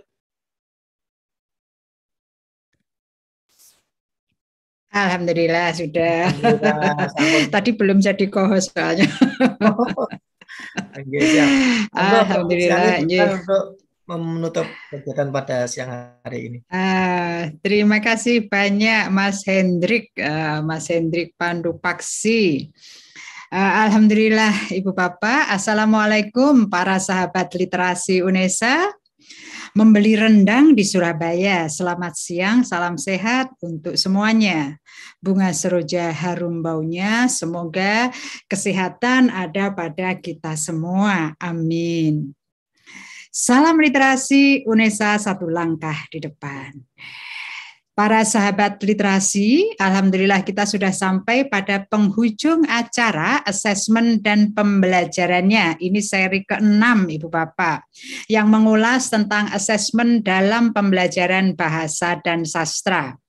Semoga pengalaman yang kita dapatkan dari Sarasean ini bermanfaat bagi guru dan siswa dalam melejitkan kemampuan literasi serta menjadi bahan perekat keluarga dan juga sekolah. Terima kasih kepada para narasumber. Di sini ada Ibu Tati Dewardi, PhD atau PhD kalau kami sebut dalam bahasa Indonesia. Terima kasih Ibu Tati, Mbak Tati biasanya saya sapa dari Universitas Islam Internasional Indonesia. Terima kasih kepada Ibu Pratiwi Retnaningtyah PhD atau PhD dari Pusat Studi Literasi dan juga dosen FBS UNESA. Terima kasih kepada Bapak Dr. Syamsul Sotik MPD, dosen di jurusan Bahasa Indonesia dari dari FBS UNESA. Dan juga terima kasih kepada moderator Bapak Hendrik Pandu Paksi MPD dari Pusat Studi Literasi dan dosen FIP UNESA. Wah ini tadi ceritanya seru ya. Jadi mulai dari terantuk, terantuk begitu, kemudian pengatur grafis, kemudian ada juga cerita dari Pak Samsul yang eh, mengharu biru, anak yang kelas 1 tidak bisa membaca, tapi kemudian bisa melejit kemampuan bacanya dengan strategi khusus. Kemudian ada juga ketepatan membaca yang uh, dulu mungkin pernah kami lakukan ya. Mudah-mudahan itu langkah yang benar dan juga sampai pada let's read terkait dengan bahasa Jawa. Alhamdulillah semoga bahasa daerah kita uh, terus terles, terlestarikan jadi tidak tidak punah Ibu Bapak para sahabat literasi. Terima kasih juga kepada para sahabat literasi dan teman-teman panitia Laskar Literasi UNESA. Tanpa sahabat literasi dan juga tanpa teman-teman panitia Laskar Literasi UNESA, acara ini tidak akan terwujud. Para sahabat literasi, Pusat Studi Literasi LPPM Indonesia selalu siap bergerak dan berbagi untuk meningkatkan kemampuan literasi masyarakat Indonesia. Setelah sesi ini, kami akan menyediakan sertifikat elektronik bagi pendaftar yang berpartisipasi secara penuh. Jangan lupa nanti mengisi formulir yang tautannya disediakan oleh panitia karena itu nanti berbatas waktu. Ikuti juga lomba menulis soal setara AKM bagi guru, dosen, dan mahasiswa. Ada juga lomba menulis 750 kata bagi para siswa mulai dari SD, SMP, SMA, termasuk madrasah dari mulai dari madrasah ibtidaiyah, kemudian madrasah sanawiyah, madrasah aliyah, dan juga SMK. Dan lomba menulis ini juga digelar oleh Pusat Studi Literasi tahun ini merupakan lomba tahun kedua. Jadi tahun sebelumnya sudah ada lomba menulis 750 kata.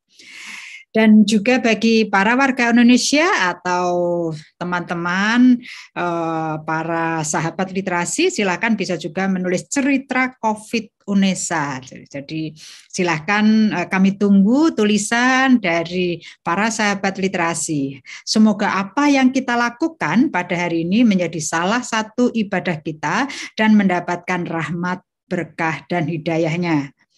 Jika ada kata-kata kami dari PLU UNESA yang menguratkan lara, jika ada untean kalimat kami yang menjejakkan bara, dan jika ada tingkah laku kami yang menorehkan luka, maafkanlah kami dari PLU UNESA.